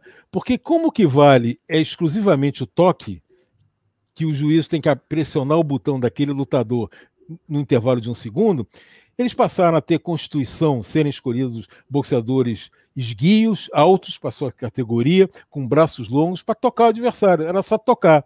Porque quando tocasse, marcava ponto. Isso desvirtuou um pouco. Há uma fonte, há uma corrente dentro da, do boxe que diz que isso desvirtuou a luta de boxe. Porque ficou só no toquinho. É quem tocava mais o outro. Tá? Quer dizer, não importava a técnica, não importava aquilo que eu falei de girar o quadril, o peso do ombro, o que importava era tocar o adversário. E isso os cubanos foram dispararam na sua. No, eles já vinham eh, sendo predominantes antes, mas com isso eles dispararam na, na liderança do, do boxe, começaram a conquistar muitas medalhas, e, e isso fez com que o boxe e o beisebol, que muita gente não sabe, se tornassem os dois esportes mais mais é, vistos em Cuba, né, mais queridos, mais queridos em Cuba. Então eles tiveram essa percepção é, antes de todo mundo de perceber, é, não, o negócio é tocar o adversário. Por isso é que eram boxeadores esguios com braços longos e tal. E a gente tem que parabenizar, né? Quer dizer, não é só isso, né? Eu estou aqui resumindo, mas esse foi um ponto importante, foi um ponto principal. Entendi. Uma bela perspectiva histórica da situação. E ainda falando dos brasileiros nas Olimpíadas, o Kenan Marley foi outro cara, outro baiano, né? Que são uma, uma predominância. A gente, a gente ainda vai falar da, do regionalismo no boxe aqui no Brasil, mas o Kenan Marley venceu a, a primeira luta dele, deu um knockdown no chinês, mas também acabou sendo eliminado nas lutas seguintes, nas oitavas. Né? E ele perdeu também com uma decisão controversa mas é uma grande é um grande nome para a seleção, né? Nas próximos campeonatos aí pode se destacar bastante, né? É, a Bia, vamos dizer assim, a que tinha mais experiência internacional de todos eles era, era a Bia. Mas o, o Kenan Marley se, se esperava muito dele, era o segundo que se esperava mais. Estou falando assim, as pessoas de uma maneira geral. Se esperava muito dele, ele tinha muita. Dava, a imprensa falava muito, porque tem o negócio do Marley, que veio do Bob Marley e não sei o quê, isso acabava chamando uma atenção que nem era justa, quer dizer, você não define se o boxeador é bom ou não por causa disso, mas o... O nome o dele Keno, também é curioso, né? Keno, é, é do Grand Canyon, parece. É do Grand Canyon, é, é o, o, primeiro nome também, do Grand Canyon. E é, eram as duas coisas. E, e se esperava, se esperava muito. Eu, eu, eu esperava também dele, mas não é decepção, tem que se levar em consideração. Você vê, o Robson Conceição, quando conquistou aquela medalha de ouro, ele estava no terceiro ciclo olímpico. O Robson Conceição vem desde, vinha desde as gestões anteriores da Confederação Brasileira. Ele estava no terceiro ciclo olímpico. Apesar da Bia não estar no terceiro ciclo olímpico, mas ela era a reserva da, da Adriana nos Jogos Olímpicos de 2016 e é uma campeã mundial. Quer dizer, não é, não tinha tão pouca experiência assim. Então houve uma renovação.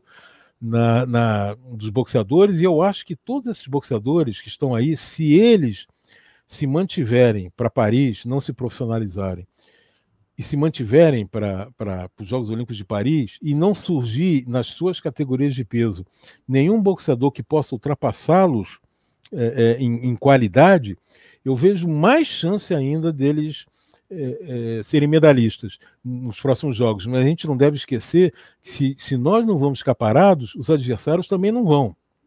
Tá? A França, que foi tão bem nos Jogos Olímpicos do, do, Rio de Janeiro, eu me lembro que eu fiquei muito impressionado com a França, porque imagino, porque imagino o que vai acontecer em Tóquio com a França, com que, que a França está fazendo, tá fazendo esses jogos. E não foi aquilo que eu, não foi aquilo que eu esperava. Às vezes, às vezes a gente, a gente queima a língua, o, o, o, aposta num, num, ponto, num ponto errado. Mas eu acho que esses boxeadores, pela, pela garra que eles têm, pelo empenho que eles têm, pelo fato de, de, de estarem muito bem conduzidos pelos, pelos técnicos da seleção brasileira, por terem tido um início de carreira muito bom com seus treinadores, eu vejo boas chances desses, desses boxeadores brasileiros terem uma, uma, um sucesso ainda maior em Paris daqui a três anos. Pô, legal. E falando das perspectivas aí futuras para esses atletas, o Itacir trouxe aqui uma pergunta. Por falar nos próximos Jogos Olímpicos, quais são as perspectivas do boxe brasileiro? Que, que você. É foi, é, foi isso que eu acabei de falar, né? Foi, é, foi exatamente. Na verdade, eu tinha lido a pergunta dele, tá? Vou dar uma de malandro aqui. Vou, vou, ele, ele perguntou lá, eu vou dar uma de malandragem, já vou falar no assunto. Não estou brincando, tá? Mas eu tinha lido mesmo. E, e, é isso exatamente que eu falei. Eu acho que. Dizer, a minha maneira de pensar é que todos esses. Essa turma vai estar muito mais experiente. E eles só não estarão nesses Jogos Olímpicos se surgir, se surgir aí nos próximos tem que surgir no próximo ano e meio, porque, porque daqui a dois anos eles já, já vão estar indo em torneios internacionais. Aliás, eu acho que eles vão continuar, vão continuar participando de torneios internacionais já a partir agora do ano que vem. Eu vejo, eu, eu, eu, eu vejo uma possibilidade muito boa, vou, me tornar um pouco repetitivo, mas eu vejo uma possibilidade muito boa desses boxeadores conseguirem um sucesso ainda maior.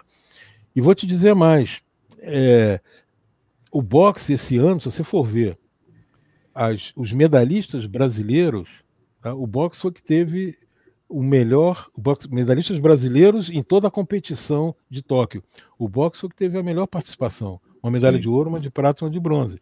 Tá? Quer dizer, você imagina esses rapazes com mais experiência e moças com mais experiência. Nós tivemos aí a Jussiele e a Graziele que, que não que não não participaram, não, não, não, não foram mais adiante na participação, mas são meninas que podem conseguir também na próxima edição de Jogos Olímpicos, é, com todos os torneios internacionais que participaram e tudo, ainda não eram muito experientes, mas eu boto muita fé em todas elas, até porque a, a história dessas meninas que também não foram é, é não foram para frente é muito parecida com a, com a dos rapazes. Então, elas têm uma possibilidade muito grande de ter sucesso em Paris. Eu estou botando fé nisso. Uhum. É, Paris daqui a três anos, mas a, ainda esse ano a gente vai ter os Jogos Militares, em que é. a maioria desses atletas vai participar, porque eles são da Marinha, né? São sargentos da Marinha, tem aquela, aquela parceria com a Marinha, e o Mundial também vai acontecer daqui a alguns meses, né? Então, é uma oportunidade é, para eles. É, não é só Marinha, não, é Marinha e Exército, tá? É bom a gente. Isso. É a aeronáutica que não tem participado. Quando começou esse negócio na Marinha, eu fui chamado para uma reunião, a Confederação foi chamada para uma reunião no Rio, com almirantes e tal, onde eles colocaram. E eu, por morar no Rio, fui na. Fui, fui representando a confederação nessa reunião. Então foi quando eu ouvi pela primeira vez a ideia que, a, que, a, que, a, que as Forças Armadas do Brasil participei dessa reunião inaugural, tinham de, de ter jovens, inclusive bancando salários, transformando eles no final, transformando eles num determinado momento em sargentos, tá? Isso vale para os homens e para e para as meninas também, e inclusive com salário. E seria uma categoria diferente, seria a categoria atleta. Eles tinham uma série de obrigações militares, mas eles tinham tempo disponível para poder para poder se dedicar ao esporte, porque havia um interesse das Forças Armadas nos Jogos Militares. Nós fizemos os Jogos Militares aqui no Brasil há alguns anos, eu não me lembro agora a data certa, não me lembro exatamente se foi 2015, 2016, eu não me lembro. E tivemos vários brasileiros que foram bem, eu estava presente lá na, no jogo, trabalhando na, na competição, e vi coisas fantásticas, vi o nosso pesado Gidelson com o braço quebrado, que ninguém sabia ganhar, ganhar a luta, quer dizer, ganhar, medalha, ganhou uma medalha, com, com, depois é que foi saber que ele estava com, eu não sabia também que estava com, com braço, com uma fratura no braço, e era uma fratura pequena, mas que impedia a mobilidade do braço dele. Então, essa, esse tipo de coisa, que eu vou contar, eu conversei com o Gidelson, não faz muito tempo, entrei em contato com ele, eu vou fazer um texto sobre a vida do Gidelson. Eu quero fazer sobre alguns boxeadores do passado que não se fala muito. E o Gidelson é um de esse fato. Já até já falei isso com ele. Agora tô, agora tô devendo, tem que fazer mesmo. Então eu vou fazer, eu vou fazer e vou, e vou contar esse, esse negócio que as pessoas não têm muita informação do braço do braço fraturado que ele fez aquela luta e venceu o combate e ganhou a medalha. Pô, realmente tem os, esses atletas são têm uma força de vontade ímpar, né? É. são capazes de fazer é impressionante. E, pô, fazendo um, um apanhado, acho que a gente você pontuou em alguns momentos, mas é, acho que seria bacana a gente resumir aqui. O Brasil, ele tem tido um domínio, um domínio não, mas tem, tem tido uma performance constante e tem uma, tem uma constância de performance muito boa nas últimas Olimpíadas, né? Nos últimos três jogos, a gente medalhou em todos eles no boxe. No, em 2012 foram três medalhas, no Rio foi um com ouro do Hodgson e agora três novamente em Tóquio. Aqui que a gente pode atribuir esse sucesso, essa constância? Para mim, fundamental é o investimento. Tá? As pessoas dizem que não tem investimento no Brasil, mas é preciso separar. Uma coisa é investimento em clubes e, e associações e tal, que foi aquilo que eu, que eu comentei, que são as prefeituras, as secretarias de governo, municipais e estaduais, é que precisam, precisam contribuir com isso e precisam participar. Outra coisa é o investimento da seleção brasileira, na Confederação Brasileira. E o dinheiro entra, já há muitos anos que vem, que vem tendo essa contribuição. Porque sem investimento não tem jeito. Né? Quer dizer, se não fosse esse investimento, no caso do boxe, especificamente do boxe, se não fosse esse investimento na, na, da Lei Piva, né, que tira um prêmio, conforme eu expliquei, tira uma parte do dinheiro da, da, da, da, da loteria, se não fosse esse investimento, mais o patrocínio da Petrobras, que eu acho que até acabou, tá? mas eu estou falando mais assim de Lei Piva, não teria, se por mais que, que fosse por mais que fossem bons atletas, por mais que fossem é, é, é pessoas, atletas compenetrados em conseguir, em conseguir atingir os objetivos, como é que essas viagens todas, salários e, e tudo, eh, torneios internacionais, como é que isso poderia ser feito se não tivesse se não tivesse uma, uma se não tivessem recursos financeiros para poder cobrir isso. Então, eu acho que esse é o principal ponto. E como há muitos anos isso já vem acontecendo, isso vem acontecendo até antes deles ganharem essas medalhas. Tá? Mas a gente sabia que quando começou isso, ainda na década, na década anterior, é, quando isso começou, nós sabíamos que, que ia levar duas ou três edições de Jogos Olímpicos para os resultados começarem a aparecer. O presidente, na época, o Luiz Bozelli chegou a comentar isso comigo. Disse assim, nós não vamos ter sucesso já na Olimpíada daqui a dois anos. Vamos ter que esperar mais duas, três Olimpíadas, porque esse investimento, essa, essa experiência que vai se ganhar, os contatos no exterior, com torneios e tudo, isso tudo vai levar, levar um tempo.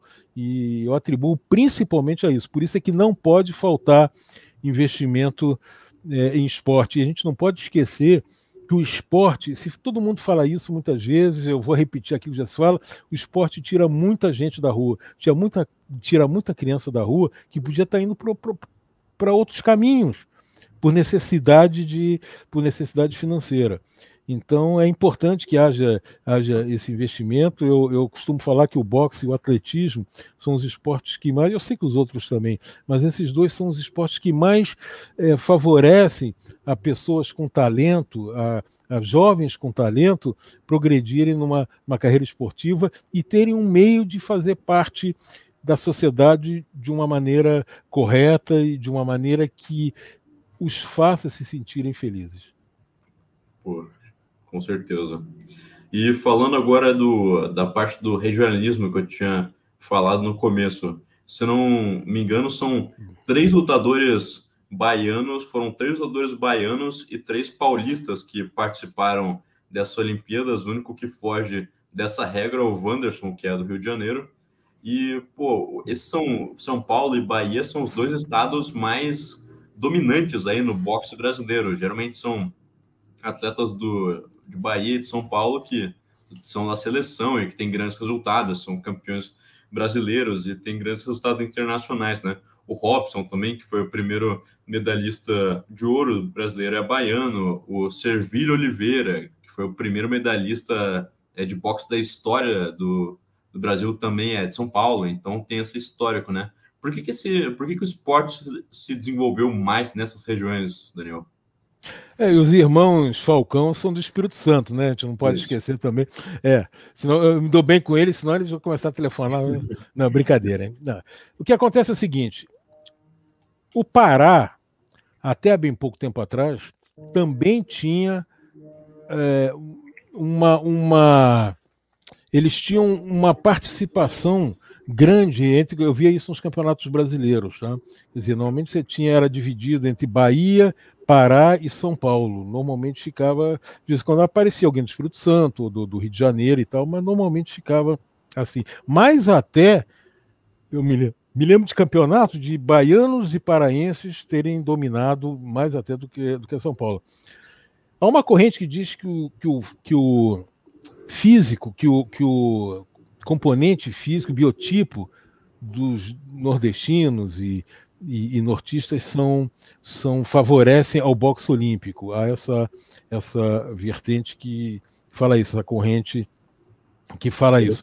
Mas, por outro lado, a gente não pode esquecer o seguinte: a Bahia e São Paulo, Pará menos, caiu um pouquinho o Pará com relação ao desenvolvimento do esporte e a dedicação que existe nesses estados. Nós temos na Bahia e no Pará treinadores, é, são os locais onde treinadores colocam, pelo menos que nós conhecemos, que colocam maior esforço em maior quantidade. Quer dizer, a Bahia e o Pará, se você começar a citar o nome aqui de treinadores paulistas e, e, e, e, baianos, eu vou acabar cometendo injustiça porque eu vou esquecer alguém, tantos que são. Não é que isso não ocorra em outros estados, no Amazonas, é, na, na, no Rio de Janeiro. O Rio de Janeiro tem se destacado também um pouco ultimamente, está nos campeonatos brasileiros, a gente percebe que o Rio de Janeiro tem se destacado um pouco, mas é, destacado um pouco, não, se destacado bastante, dependendo do, do campeonato. Mas é, é, na Bahia são dezenas de técnicos, em São Paulo acontece a mesma coisa, são campeonatos. Se você começar, eu estou com medo de falar nomes, eu, eu, quero falar os nomes, mas eu fico com. Eu falei no Gibi, mas se você pega, por exemplo, no interior de São Paulo, em Rio Claro, os irmãos Macedo, que são os irmãos da família Macedo, né? Aliás, um deles está na seleção brasileira, que é o Leonardo, mas o Marcos Macedo, que é o pai, e o irmão, o Breno, quer dizer, a dedicação que eles têm com, a, com esses atletas. Eu estou citando um aqui, além do Gibi, e eu não quero citar muita gente, que é o Cido, eu vou acabar esquecendo gente. Na Bahia, o pessoal fala muito no, no Dória, que é realmente um expoente na Bahia, mas existem outros treinadores lá, como o Davi Bicho, que eu comentei aqui, que foi o treinador do, do Ebert, né? Eu vou parar aqui porque eu vou esquecer e vou fazer injustiça, tá? É, se eu começar a citar nomes. Então, no Rio de Janeiro, você tem, vou citar aqui, você tinha o Gibi no Rio, você tem hoje o Raf Giglio, por exemplo, que você tem, que fez muitos, muitos campeões brasileiros, inclusive, tá? Ele levou gente para a seleção, para a seleção brasileira. Tem outros técnicos também, mas estou citando esse que conseguiu levar levá-los lá. E esses técnicos precisam estar sempre sendo lembrados, porque eles são muito importantes. Eu acho que eu acho que, quer dizer, a maneira de eu pensar é que a quantidade de treinadores na Bahia e em São Paulo que se dedicam, que fazem esse tipo de trabalho, ela é muito grande, ela é, ela é maior do que em outros estados. Eu acho que isso fez a diferença. Tá no Pará, por exemplo, a gente, nós temos alguns técnicos, mas não tem um número de academia é, grande, assim, que forme tantos tantos boxeadores. Como é o caso, por exemplo, do Ulisses, que foi técnico do Popó, o Ulisses tem uma academia dele. Eu também não vou falar parar por aqui, porque senão eu vou fazer injustiça no Pará também. Mas é, não tem o mesmo número de treinadores se dedicando com afinco como acontece na Bahia e em São Paulo. É, falando de Pará, eu vou puxar a sardinha para o meu lado e vou falar do MMA, que é o, o, que é o esporte que eu acabo focando mais. Você é paraense? Tem... Não, não, eu não sou paraense, mas é, falando de MMA, porque tem no UFC tem uma aparência que foi muito consagrada no boxe amador e que está tendo bastante destaque agora no UFC, que é a Amanda Lemos, que ela, ela inclusive já tem mais idade, mas conseguiu entrar pelo UFC recentemente e, e tem tido uns resultados bastante impressionantes agora. Não sei se você conhece, Daniel. Não, eu não, não, eu sei, de nome, tá? Mas não uhum. vi, não a vi lutar, tá? Então não posso, não, não posso nem opinar. Né? Uhum mas foi um nome que me lembrou quando você falou de Pará. E o, ainda falando em, em datas, assim, dados que lembram, que são, se destacam, né? O Brasil teve um hiato de 43 anos entre a primeira medalha conquistada no boxe e a, as que foram conquistadas depois, né? Isso considerando que o Servílio Oliveira conquistou o bronze na cidade do México lá em 1968 e a, a, o pódio seguinte que a gente conquistou no boxe foi só em 2012, com três medalhas né, lá em Londres. Por que, que demorou tanto tempo para o país colocar outros atletas é, no pódio olímpico? O primeiro ponto que eu acho é a falta de investimento que havia. Nós somos um país do futebol, né? então eu acho que a, que a falta de investimento. Nós ainda não tínhamos medalhas no boxe depois do Servilho, quando a natação, o atletismo já tinham patrocínio patrocínios federais. Eu me lembro disso. Tinha empresa do governo patrocinando alguns esportes. E o boxe não tinha isso. O boxe só começou a ter algum tipo de patrocínio quando, quando surgiu a Lei Piva. E aí você levou, levou duas, três edições de, lei, de, de Jogos Olímpicos para começarem os resultados a aparecerem. Né? Esse, esse é um ponto que, se você sem investimento, você não consegue. Não consegue sucesso. O outro ponto que eu vejo. Ah, e o vôlei também já tinha patrocínio há, há, há muito tempo. Outro ponto que eu, que eu vejo é que o Servilho, essa é uma opinião muito pessoal minha, o Servilho conquistou aquela medalha por muito mérito dele. Tá? Se nós tivéssemos, naquela época, fazendo essa entrevista, eu não ia poder dizer, olha, teve, teve lá uma estrutura que fez isso, isso, isso para ele, treinadores começaram. Claro, ele teve treinadores que, que introduziram ele, ele no esporte, mas o Servilho dependeu muito mais dele. E eu estou falando isso de cadeira, com tranquilidade, tá? Me, me dou bem com o Servilho, mas não somos amigos pessoais, então estou falando, não, não sejamos amigos, tá? Mas não existe aquele contato, estou falando que é realmente o que eu penso. Servilho só não foi, só não disputou o título mundial de boxe profissional porque ele teve descolamento de retina. E ele foi proibido, tá? Se descobriu isso numa luta e teve que ficar de fora. Não foi o único brasileiro com potencial que aconteceu isso, mas o Sevilho teve, teve esse problema. O Sevilho era muito bom e era muito ele, depend, ele dependeu muito dele essa medalha. Isso é uma coisa, ele está sempre mostrando essa medalha e eu acho que ele tem que ter muito orgulho mesmo de, dessa medalha, porque é, é, só quem está no meio do boxe sabe como ele foi o principal fator de conquista dessa medalha. Não é que ele não, não teve ajuda, mas ele foi é, assim, ele foi mais responsável do que outros outros boxeadores. E a gente tem que ter, tem, nós temos sempre que estar tá, tá lembrando isso, lembrando os heróis do passado, e ele é um desses heróis do passado.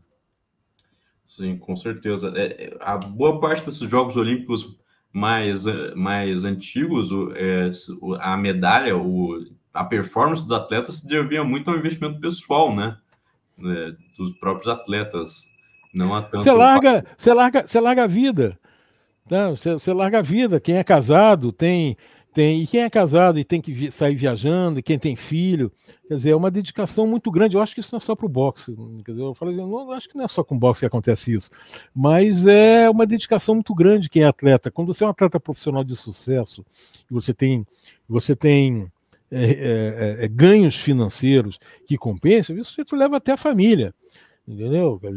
É, você vê grandes grandes jogadores. Você vê o que acontece com o Floyd Mayweather. Eu ia falar até do, do Messi agora que está se transferindo né, para a França, mas você vê o Floyd Mayweather, você vê o Manny Pacquiao, você vê fotografias do Manny Pacquiao treinando, quando ele não está treinando, ele está com a esposa, porque ele tem esses, esses, esses recursos todos para poder estar tá com a família. Mas quem não está lá no, no, ápice? Quem não ganha aquela bolsa, bolsa de milhões de dólares? Tem muitos boxeadores ganhando bolsas de milhões de dólares cada vez que lutam, mas tem muitos que ganham muito pouco, inclusive no Brasil.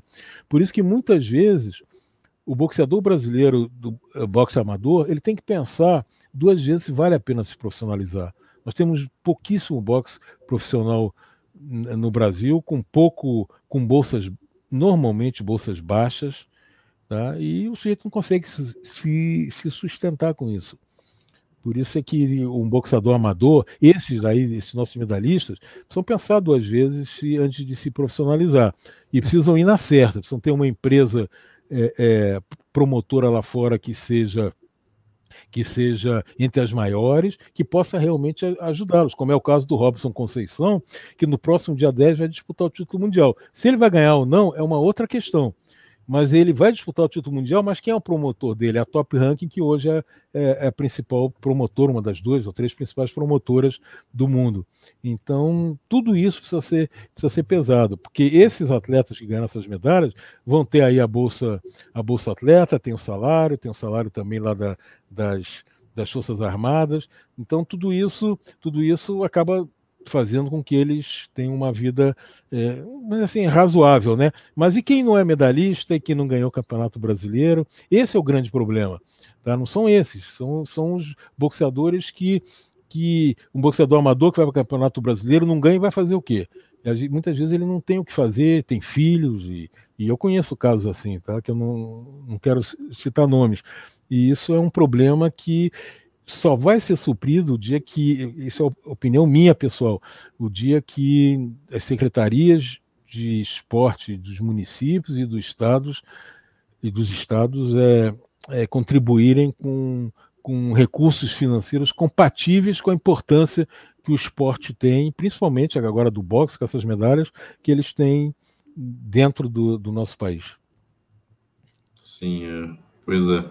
Situação complicada.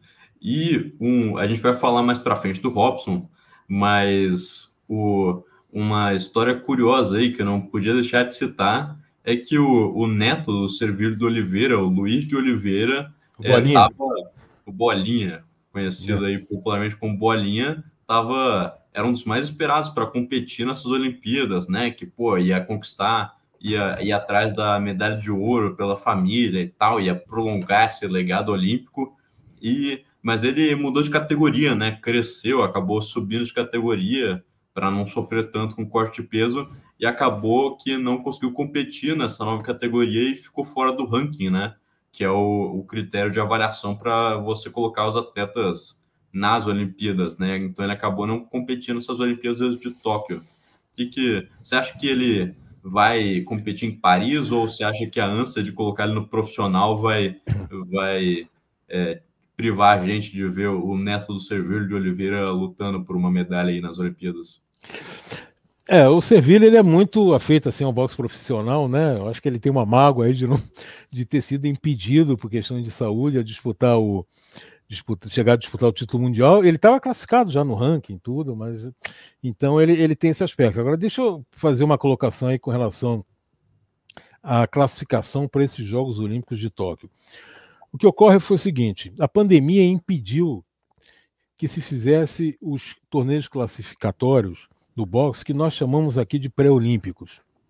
Como é que era feito antigamente? Você, tinha, você tinha um pré-olímpico numa cidade, num, num, país, tinha um segundo pré-olímpico em outra cidade, em outro país, e tinha um terceiro que juntava é, é, atletas do pré-olímpico de vários pré-olímpicos de outros continentes para fazerem um, um terceiro, para ver quem é que. Tipo uma repescagem, uma coisa desse tipo assim. Apesar de ter havido pré-olímpicos, torneios classificatórios na Europa, não houve nas Américas.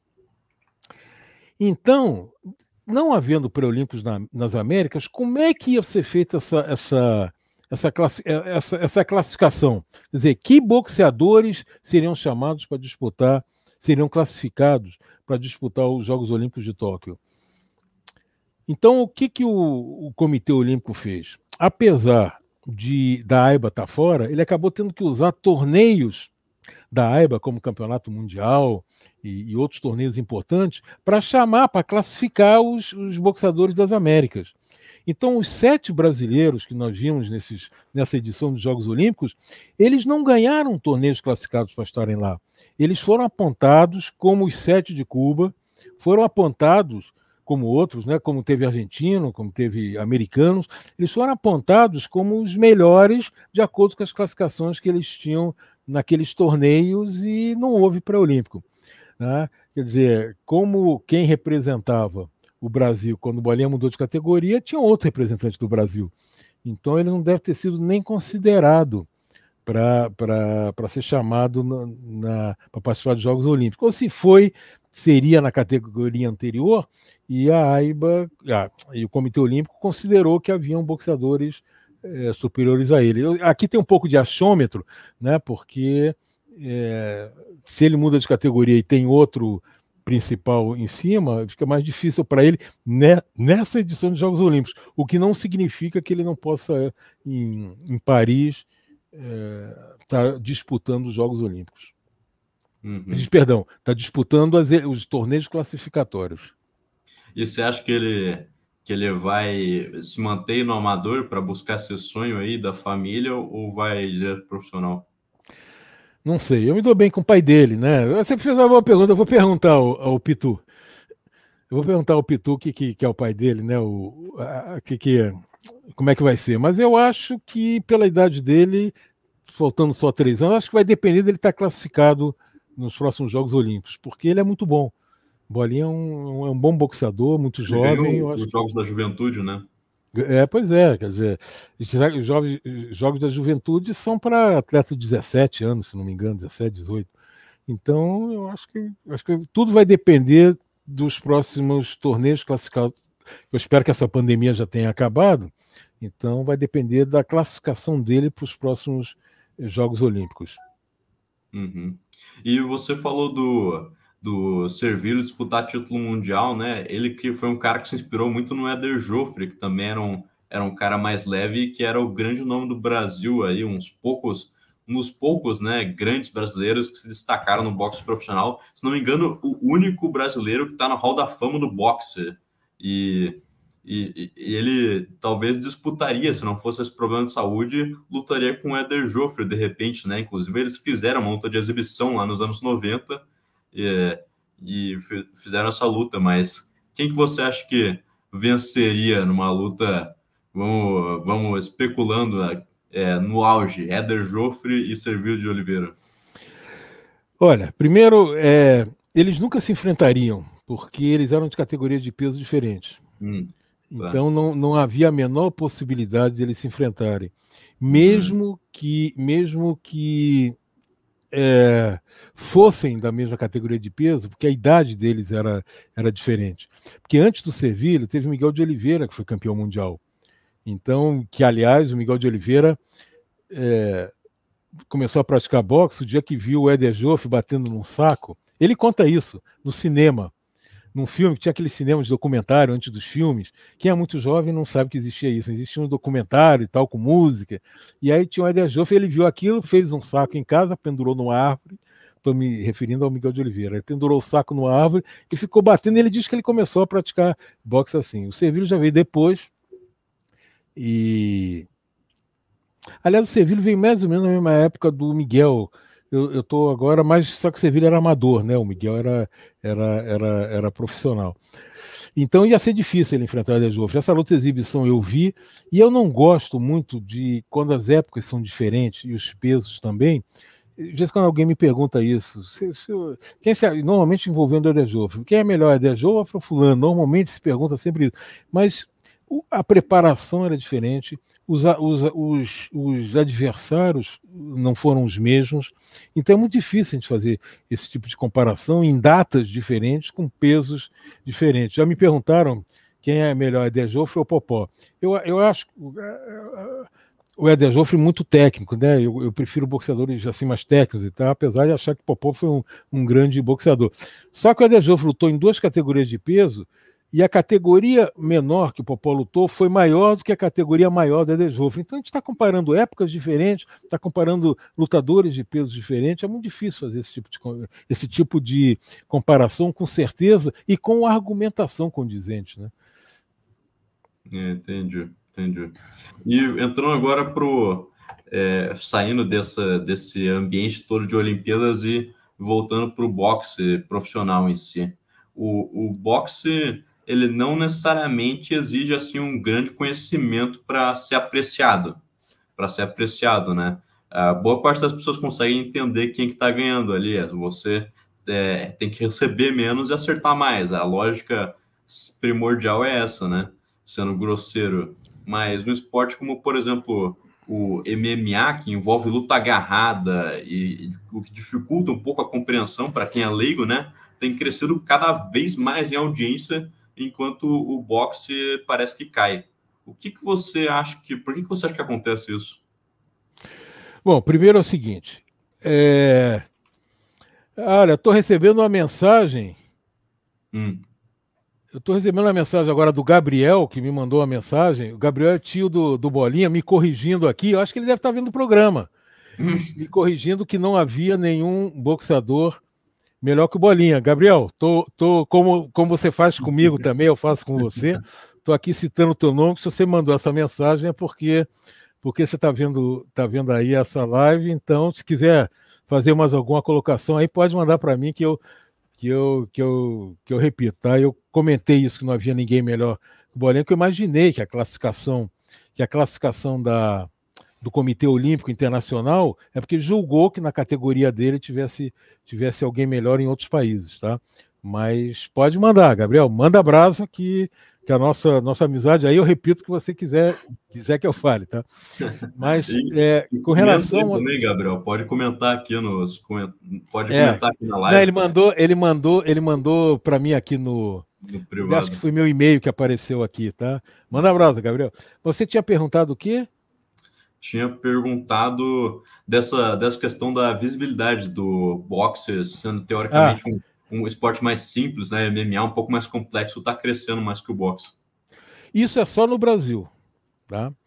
Você sabe que quando aqui no Brasil se deu muita importância ao que o principal executivo do MMA, o Dana White, falava, né? Que o boxe estava acabado, que os estádios não, não enchiam. Você sabe que durante muitos anos eu, quando fazia uma, um, um, um, texto sobre uma luta de boxe que tinha acontecido, é, eu colocava a plateia que estava lá. Porque era para desmentir o Dana White. Tá? Então ele inventou essas coisas. E aqui no Brasil se deu muita importância ao que ele falava, que o boxe não existe no resto do mundo. Ele dizia que o, que o, boxe, não, que o boxe cobrava ingressos muito caros, por isso é que ninguém ia assistir. Ele falava no dia seguinte o MGM, que é, um, é, um, é um estádio enorme, lotado para ver uma luta de boxe. Então, aqui no Brasil, primeiro se deu muita importância as pessoas repetir, inclusive gente que trabalhava comentando MMA, repetir essas coisas, e eu já escrevi texto, inclusive, mostrando e desmentindo isso. Isso era uma coisa. A outra coisa é que é, nós ficamos muito tempo sem ter campeões aqui. E, e, a gente sabe que você ter um campeão no esporte, isso é muito importante. Quando o Guga foi campeão no tênis, eu me lembro que se falou tanto, agora o tênis vai vai vai abrir, vai ser o máximo, porque o Guga, o Guga foi campeão e tal. E, e na verdade não surgiu outro campeão. E aí o tênis voltou, que era sempre, ele é visto, as televisões mostram tênis, né? A gente vê disso quando eu vejo também, mas não foi o que se esperava, porque não surgiu um campeão depois do Guga. Isso não aconteceu com o MMA. Enquanto no boxe nós tivemos, é, enquanto no boxe nós tivemos um período sem campeões alto, mesmo depois que o Popó foi é, campeão, surgiu um tempo muito grande. O, o, nós tivemos outro campeão, o Sertão, que ficou, logo perdeu na, na, na, primeira defesa. Então ficamos um tempo muito grande sem muitos campeões. O MMA teve muitos campeões. Eu vejo isso como um motivo muito sério para que, que, tenha, que isso tenha ocorrido. Tá? Quer dizer, muitos muitos é, campeões no MMA e poucos no boxe, nenhum no boxe praticamente. E a gente gosta de campeão, quem é que não gosta de, de campeão, né? É, quem é que não, eu conheço gente que parou de ver Fórmula 1 porque não tem nem, não tinha ninguém aí com condições. Agora, de dois anos para cá, ah, não tem ninguém para ganhar, então você se, se, desinteressa. Como eu gosto de corrida de, de automóvel, eu vejo a Fórmula, continuo vendo Fórmula 1, mas é, normalmente as pessoas veem quando tem, tem um ídolo, né? É, por aí, bem por aí, faz sentido. Mas, e falando ainda do, do boxe profissional. O, o boxe é um, é um o boxe profissional ele está subdesenvolvido, né? Aqui no, no Brasil, né? O que, que você, inclusive, por exemplo, o Esquiva Falcão, que não compete no Brasil necessariamente, né? Um atleta internacional aí, mas até tempos atrás, antes de ser patrocinado pela Avan, pelo Luciano Hang, ele estava tava trabalhando de entregador, né? Porque não conseguia se sustentar apenas através do esporte, né? O que, que falta pro boxe? Você falou de quem? De quem você falou? Do, do Esquiva Falcão. Do Esquiva, é. Do, o que, que falta pro, pro boxe ter mais eventos profissionais aqui no Brasil? Eu vou te responder, só, só complementando, o Gabriel mandou as mensagens, tá? Gabriel se tornou um amigo, ele, o irmão, né? Se tornaram amigos com a, com a nossa foto também, então ele está realmente vendo que o Brasil podia alcançar a segunda colocação no ranking de medalhas no boxe se a Bia ganha. Quer dizer, se a, Bia, se a Bia ganha, ele seria o segundo no ranking do boxe geral nessas Olimpíadas de Tóquio. Tá? E. Oh, que bacana. É, é, é, e ele fala que realmente a mudança de peso pegou e que não foi. A mudança pegou mesmo, não foi a de peso, e sim a etária. Os rankings utilizados, estou repetindo, estou lendo aqui o que, que ele escreveu. Obrigado, hein, Gabriel. Os rankings utilizados pela Força Tarefa, que é a força do, do Comitê Olímpico, foram 18, 19 e 20. Em 18 e 19, o Bolinha era juvenil. Então compararam ele, é isso que o Gabriel quer falar, que ele não pontuava em elite. E em 2020, por causa da pandemia, olha só, é o que você me perguntou. Perfeito, Gabriel, obrigado. Em 2020, quando o Bolinha passou para passou para a elite, categoria elite, que é aquela categoria de maiores de idade, não houve quase competições por causa da pandemia. Perfeito, Gabriel. Foi, foi ótima a tua participação. Eu e ele temos um acordo não explícito, que sempre um ah, manda sim. mensagem é, quando o outro está tá comentando. Muito obrigado, Gabriel. Explicou legal isso aí. Eu espero que o pessoal tenha, tenha, tenha, tenha entendido. Bom, com relação ao Esquiva, eu acho o seguinte. Inclusive, antes de você falar do Esquiva, pô, Gabriel é. de Oliveira aí, que é treinador de boxe na América Top Team, né? Isso, isso. E ele, é treinador, ele é treinador lá do, de boxe dos lutadores de MMA. E do Robson também, né? O Robson tá treinando. Não, não. Não? Não, Pô, não o, Robson é, o Robson é o Dória. Não, é o Dória, mas o, o Robson, ele, pelo menos há um tempo atrás, estava treinando lá na Ele treinou lá, pode ser, pode ser que ele tenha feito. É, pode ser, porque às vezes, às vezes acontece isso. Eu Pô, não mas... sei te responder isso. Uhum. É. É, mas, mas se, é... o, se, o, Gabriel estiver assistindo aí, eu quero, quero entrevistar ele ainda, pô. Quero trazer ele para Tirando Mandagem para trocar uma ideia com a gente aí, pô. Gabriel, vou dar o teu telefone para ele, hein? Tá? não, não precisa nem responder. Depois eu dou aqui no particular eu mando para ele o teu telefone para ele te ligar, para te entrevistar, e eu vou perturbar a tua entrevista também. Não, brincadeira. mas, mas o, com relação ao esquiva, é o seguinte: nós não temos patrocinadores no Brasil. Tá? A, gente não tem, a gente não tem empresários no Brasil. Tá? E quando aparece um empresário, tá, fazer três, quatro eventos por ano, a coisa é limitada, ele passa muitas dificuldades também.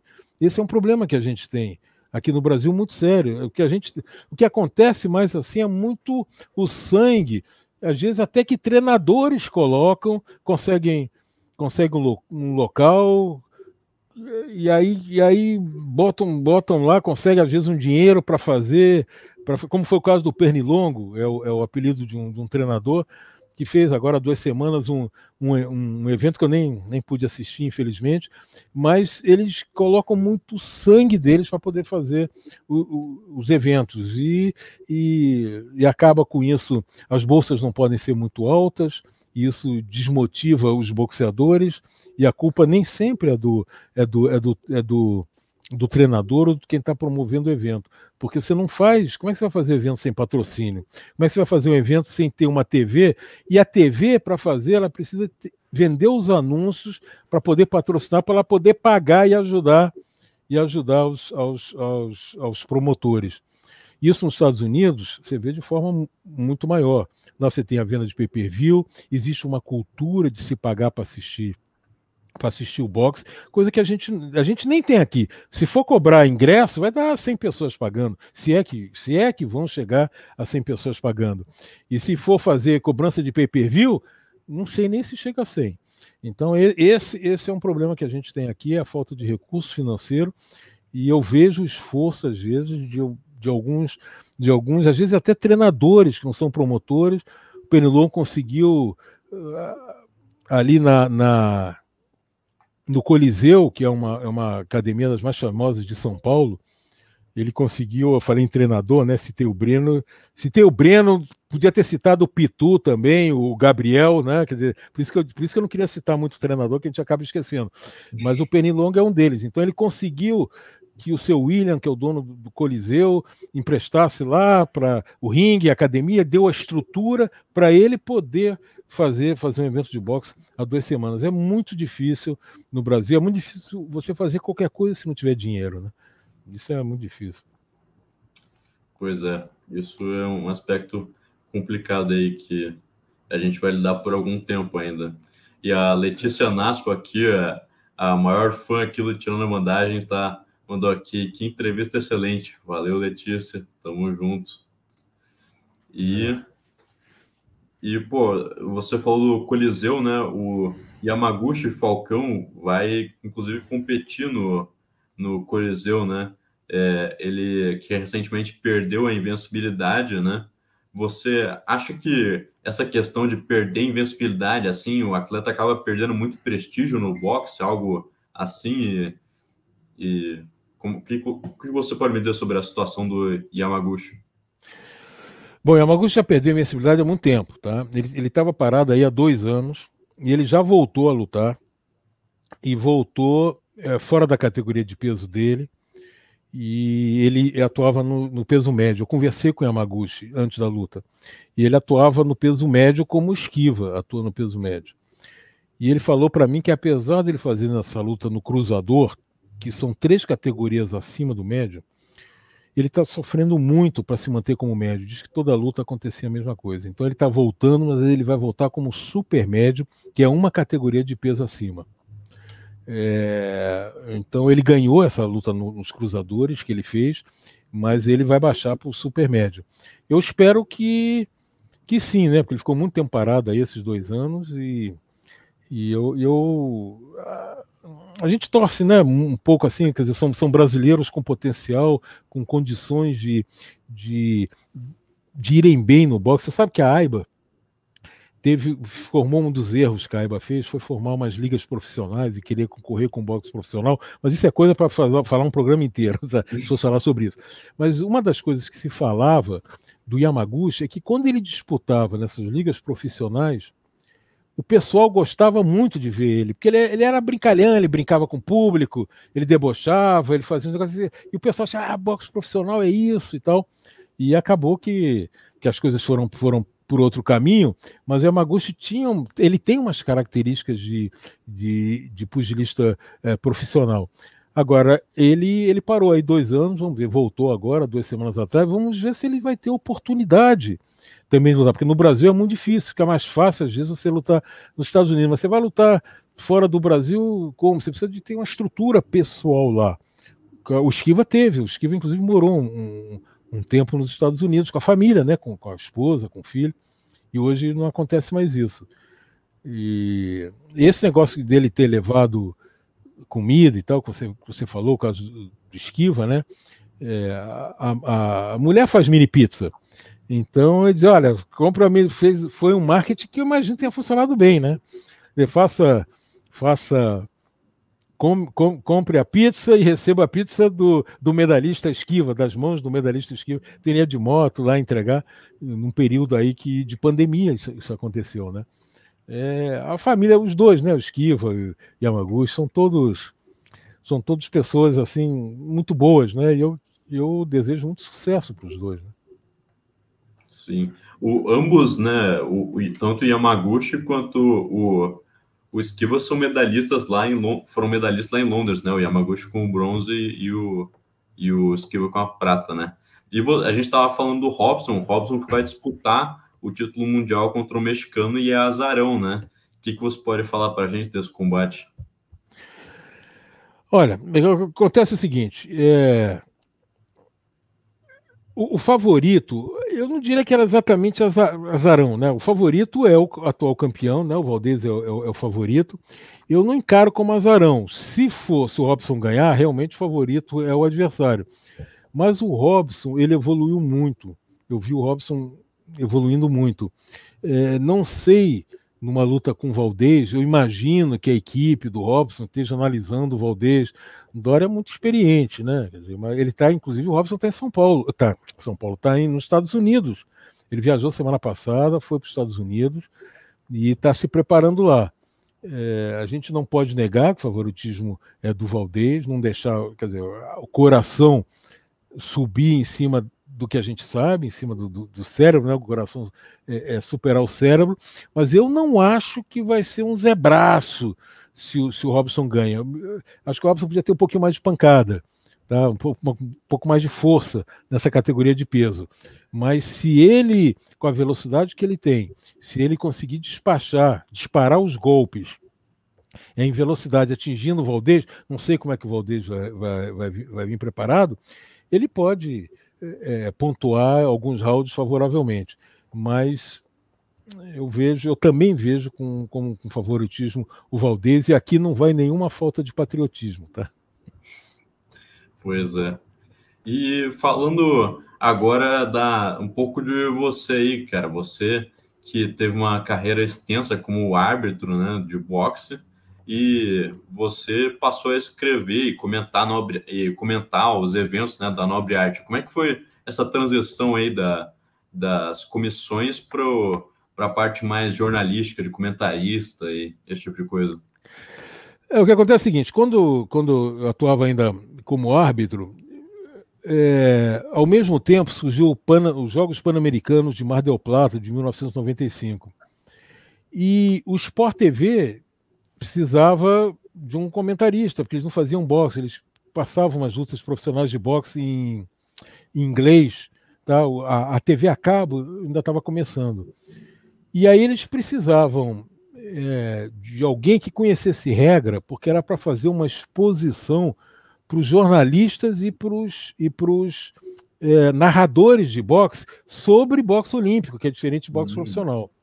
E aí ligaram para a Federação do Rio e o presidente disse: Olha, o melhor para falar é você, porque o presidente chegou a dizer: Pô, eu não vou ter falar, porque ele era presidente, ele tinha uma função administrativa, eu não vou conseguir falar sobre isso. Você, você fala, liguei para eles, aí liguei para o Sport TV, e o Sport TV disse: Olha, na época não tinha os recursos nós temos de informática, então disseram, nós temos aqui projetor, nós temos aqui o projetor de transparência então você traz aqui que a gente tira as transparências e tal para fazer.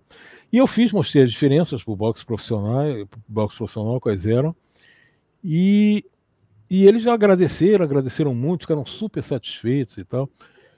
E aí passou-se uns dias, eu recebo um telefonema, disse assim: você não quer comentar aqui os, os Jogos Pan-Americanos? Eu fui comentar.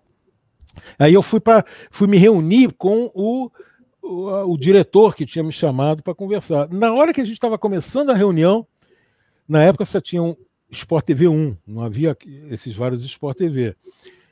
E, e na época você era obrigado a passar aquilo que a Otis, que é a organização das televisões internacionais, que é uma, é uma, é uma, é uma sigla, né? É o que eles querem passar. Então você não é como hoje que você escolhe o que você quer passar e tal. Não era assim, é, era diferente. E na hora que eu estava conversando com esse diretor, ele tínhamos acabado de conversar, começar a conversa. Abre a porta da sala dele, alguém diz: Olha, OT mudou a programação e vai passar boxe agora. O boxe era para passar só as semifinais e as finais. E aí eles abriram e disseram: Vai passar agora. E aí o diretor virou para mim e disse: Vai. eu não sabia, eu não, eu não sabia quem ia lutar. Eu não, eu não sabia nada, não sabia nem que já estava na, nas, nas, quartas de final. Eu não sabia Nossa. nada. Quando eu cheguei na cabine, já vai começar em 10 minutos. Aí o narrador, Sérgio Maurício, que hoje está na, na, no grupo Bandeirante, Sérgio Maurício virou para mim e disse assim: conheci ele assim na hora, olha, as lutas são essas. Quando eu li as lutas, tinham vários boxeadores ali que eu sabia que tinham participado de Olimpíadas, que tinham ganho Olimpíadas. Tinha boxeador que tinha sido medalhista em Mundial. Eu tinha essas informações. Eu disse, poxa, pelo menos dá uma. E aí, quando começou a transmissão, aqueles boxeadores que estavam lá, que eu tinha essas informações, eu comecei a falar. E foi um sucesso a transmissão, porque uh, o pessoal do Sport TV ficou louco, né? Dizer, pô, o cara conhece os caras, não sei o que. Ó. E aí começou, começaram a me chamar, me fizeram, não sabia nem que eu ia receber dinheiro para isso. E aí me, me perguntaram se eles vão começar a fazer boxe profissional, me deram um contrato contrato para assinar de, de boxe profissional, eu continuei arbitrando, e isso me levou a ser dirigente, porque é, o, o, ranking brasileiro era uma vergonha, tá? era um ranking não era feito por quem devia ser feito, era e aí o, a, o presidente perguntou: você não quer fazer o ranking brasileiro? Quando ele viu que eu tinha conhecimento disso, isso depois que eu comecei a comentar boxe profissional, disse, você não quer fazer o, o ranking e tal, porque da maneira como é está e aí, junto com Raimundo Quadros, que já não está mais entre a gente, e posteriormente com Jorge Tourinho, que é um que é um se formou, os dois se formaram em arbitragem comigo, nós começamos a fazer um ranking e fizemos um ranking decente. E fazer esse ranking decente acabou chamando muita atenção dos dirigentes esportivos. E eu fui fui convidado para ser o diretor de boxe profissional da confederação. E depois, quando o Luiz Roselli assumiu a presidência, quando ele se candidatou e ganhou a eleição para ser presidente, ele, antes da eleição, perguntou se eu não queria ser o vice dele. Então, eu era o vice-presidente ao mesmo tempo que eu comentava boxe internacional, porque no Brasil a gente não tinha praticamente boxe. Então, isso acabou virando um, um, ciclo, né? Quer dizer, quanto mais eu, eu era conhecido como dirigente, eu fiquei também conhecido como, como é, comentarista. E aí, quando houve uma mudança, na, o Bozelli não, não, quis mais se candidatar depois de dois, de dois períodos, e eu não quis assumir. Eu não quis ser candidato por causa de problema de trabalho, problema de família, disse eu não vou poder me dedicar igual a ele, e eu não aceitei estar no lugar. Então entrou uma nova gestão, e dessa nova gestão ainda ajudei no início algumas coisas que precisavam ser feitas, depois eu preferi me afastar e ficar é, e ficar com, com, os comentários e escrevendo no, no Globo Esporte e eventualmente atuando. Eu me sinto, sem perguntar, o que eu mais gosto de fazer é ser árbitro. Quer dizer, eu, eu mesmo com a idade, já, já, já não tendo a mesma idade de outros, mas eu continuo achando que, me achando que se eu entrasse em forma física, né, que eu também engordei, eu ia poder estar no mesmo nível aí dos, dos melhores árbitros. Mas as coisas giram, né? O mundo gira e, e hoje os, os, as coisas que eu escrevo e os comentários que eu faço são são, vamos dizer assim, estão dominando dentro dessa área de boxe. Eu sempre digo para as pessoas que todo mundo paga para ter um hobby. E eu tenho um hobby que eu recebo. Quer dizer, que eu ganho, é, que eu ganho, que eu ganho para ter, um hobby. Mas, na verdade, eu encaro isso como, como um trabalho. Para cada vez que eu vou ficar duas, três horas em frente à câmera de televisão, e o Gabriel Oliveira, está assistindo a gente, sabe disso, que ele faz a mesma coisa. Cada vez que eu vou ficar de duas a três horas, eu perco mais, pelo menos, o mesmo tempo, duas, três horas, me preparando para falar de cada boxeador, de cada de cada luta que, que, que vai haver. Que isso foi uma coisa que eu sentia falta quando eu era um assistente, eu era um aficionado de boxe. Eu disse, os comentaristas precisam estar preparados para falar muito. E eu, eu, o dia que eu recebi o convite, eu fiz isso. Então, o sábado eu vou fazer, vou entrar 10 horas da noite, de manhã eu sento, passo a manhã toda me preparando para me preparando pro, para o que eu vou falar à tarde. Pô, tô falando muito de mim, né? Você não me chamou para falar de mim, né? Pô, mas a, a, o quadro agora é, é sobre você, rapaz. Então, é, é, tá, é um momento propício. E, e pô, mas muito muito bacana. Você, você, você acredita que essa, essas novas performances aí no boxe olímpico podem trazer um pouco mais de visibilidade e, de repente, esse jornalismo voltado para esporte de combate, mais especificamente sobre o boxe, pode crescer no Brasil? Ah, eu acho que sim. Eu espero que sim, mas eu, eu creio que sim. O fato do boxe ter sido a modalidade esportiva nessa Olimpíada, que as melhores medalhas né, trouxe, trouxe para o Brasil, eu acho que isso tem que chamar a atenção, a atenção das pessoas. Agora, precisa chamar a atenção de patrocinadores, precisa chamar a atenção de, de, uh, de investidores. Nós tivemos, durante muitos anos, havia o, o, Eu vou falar um nome aqui, tá? Porque a gente não está no ar. Tá? O, o Armando da Esqueci o nome da loja dele de. É, é, na realidade, a gente está tá na transmissão ainda, então se, se quiser não falar, pode ser, pode ser uma boa. Você prefere que não fale? Não, você, você fica a teu, teu critério, mas é que a gente tá Não, tá eu acho que tem que falar. O Armando da. Ah, ele tem a loja de, de material esportivo, que eu esqueci agora o nome da loja dele. Me fugiu, me fugiu o nome agora. É, o Armando foi, daqui a pouco eu lembro. Gabriel, se tiver aí, manda aqui para o meu, pro meu WhatsApp, tá? O nome que eu esqueci. É, o Armando, durante anos, ele tinha uma, colaborou com, com, com o Popó, quando o Popó estava começando, depois colaborou com a própria confederação, colaborava com alguns clubes, é, dando material, material esportivo. Então, a gente, mas era assim, era uma coisa esporádica, era uma pessoa que fazia isso. Entendeu? Ele tem até hoje a, a, loja dele, daqui a pouco eu vou lembrar o nome. E, e, e não é isso que resolve. O que resolve é ter realmente alguém que esteja disposto a, a de repente, vai ter um programa semanal e aí o nome dele vai aparecer no ringue, ali nos corners. Isso, isso é que é o ideal, tá? Porque é isso que acontece lá fora. Só que lá fora tem mais um ponto. Além do patrocínio, você tem as, as, as vendas de pay-per-view, tá? As vendas de ingresso. Tá? Você lê que ah, deu de ingresso 6 milhões de dólares, aquele encheu o estádio, deu 6 milhões de dólares. Aqui você não tem nada disso, você tem 10, 20 pessoas que vão pagar. Vão pagar 20 reais, porque se você cobrar mais, não vai ninguém. Tá? Então você não tem nem a cobrança através, a receita através de pay-per-view e nem a, a receita através de cobrança de ingressos. Então não basta ter o patrocínio. Então, mesmo que tenha um patrocínio, isso talvez pague a televisão. E pague a televisão possa ajudar alguma coisa de bolsa, assim, mas não vai render muito. Quer dizer, precisa ter patrocínio, precisa ter venda, e nós não temos essa cultura. Nós não temos no Brasil essa cultura de, de pagar ingresso, de, de pagar pay-per-view.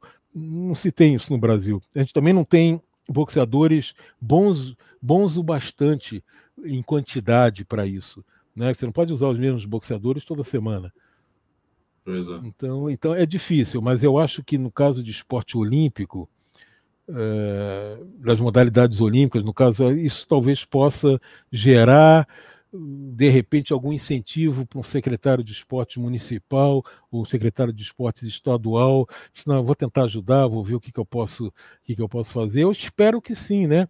Porque senão é, nós vamos ficar. Bom, isso valeu a pena para quê? Valeu a pena para os boxeadores, valeu a pena para o país, né? Que tem, que tem medalhas, mas não, contribui, não contribuiu para o se não acontecer, não contribuiu para o desenvolvimento do esporte. E é, é importante que, que haja esse, esse, desenvolvimento dentro da modalidade, porque se não tiver o, desenvolvimento, nós vamos ficar sempre assim, sempre na mesma, né? nunca andando, nunca andando muito para frente. Pois é. Mas nesse, nesse clima de esperança aí pelo, pelo boxe aí, com essa com essa excelente performance dos nossos boxeadores brasileiros, a gente vai encerrando essa live aqui. E, pô, Daniel, muito obrigado aí. Como já falei, uma honra aí. O, ter um, um comentarista do teu calibre aí, deu uma aula aí de técnica. Nossa, eu tô, nem sabia que tinha tantos aspectos assim em técnica e para analisar a luta, assim, minha cabeça aqui, vou ter que achar mais espaço para encaixar tanta coisa assim. Mas, Olha... pô, agradeço imensamente aí pela sua disposição em vir trocar essa ideia com a gente, estou tirando a bandagem, cara. Olha, se é o que você precisar aí, o que você precisar, você me, me pode contar comigo, tá? Vou te mandar o telefone do Gabriel, tá? Eu acho que ele vai te dar. O Gabriel conhece muito, tá? Ele conhece muito, ele vai te dar ele vai te dar bastante, bastante informação é, e, e o que você precisar aí daqui para frente, você pode contar comigo e, e, eu quero te agradecer também a oportunidade de ter podido falar um pouquinho um pouquinho de boxe, tá? E mesmo tendo falado do negócio errado do bolinha, pelo menos deu para corrigir, né? deu, deu para corrigir a tempo. Né? A gente também não é perfeito, né? Eu não sou perfeito. É, pois é. Mas é isso aí, galera. Muito obrigado aí por quem prestigiou a gente até agora e Tacira que mandou também. Tacir, pô, que tá com a gente há duas horas de live, o pessoal tá querendo, tá arrancando os, os cabelos para acabar logo essa live, mas valeu aí por terem acompanhado e Tacir, principalmente, comentando aí direto. Parabéns, tanto entrevistado quanto entrevistador, são muito competentes e simpáticos. Pô, muito obrigado. Mas é isso, galera. Valeu e até semana que vem na próxima live. Abraço.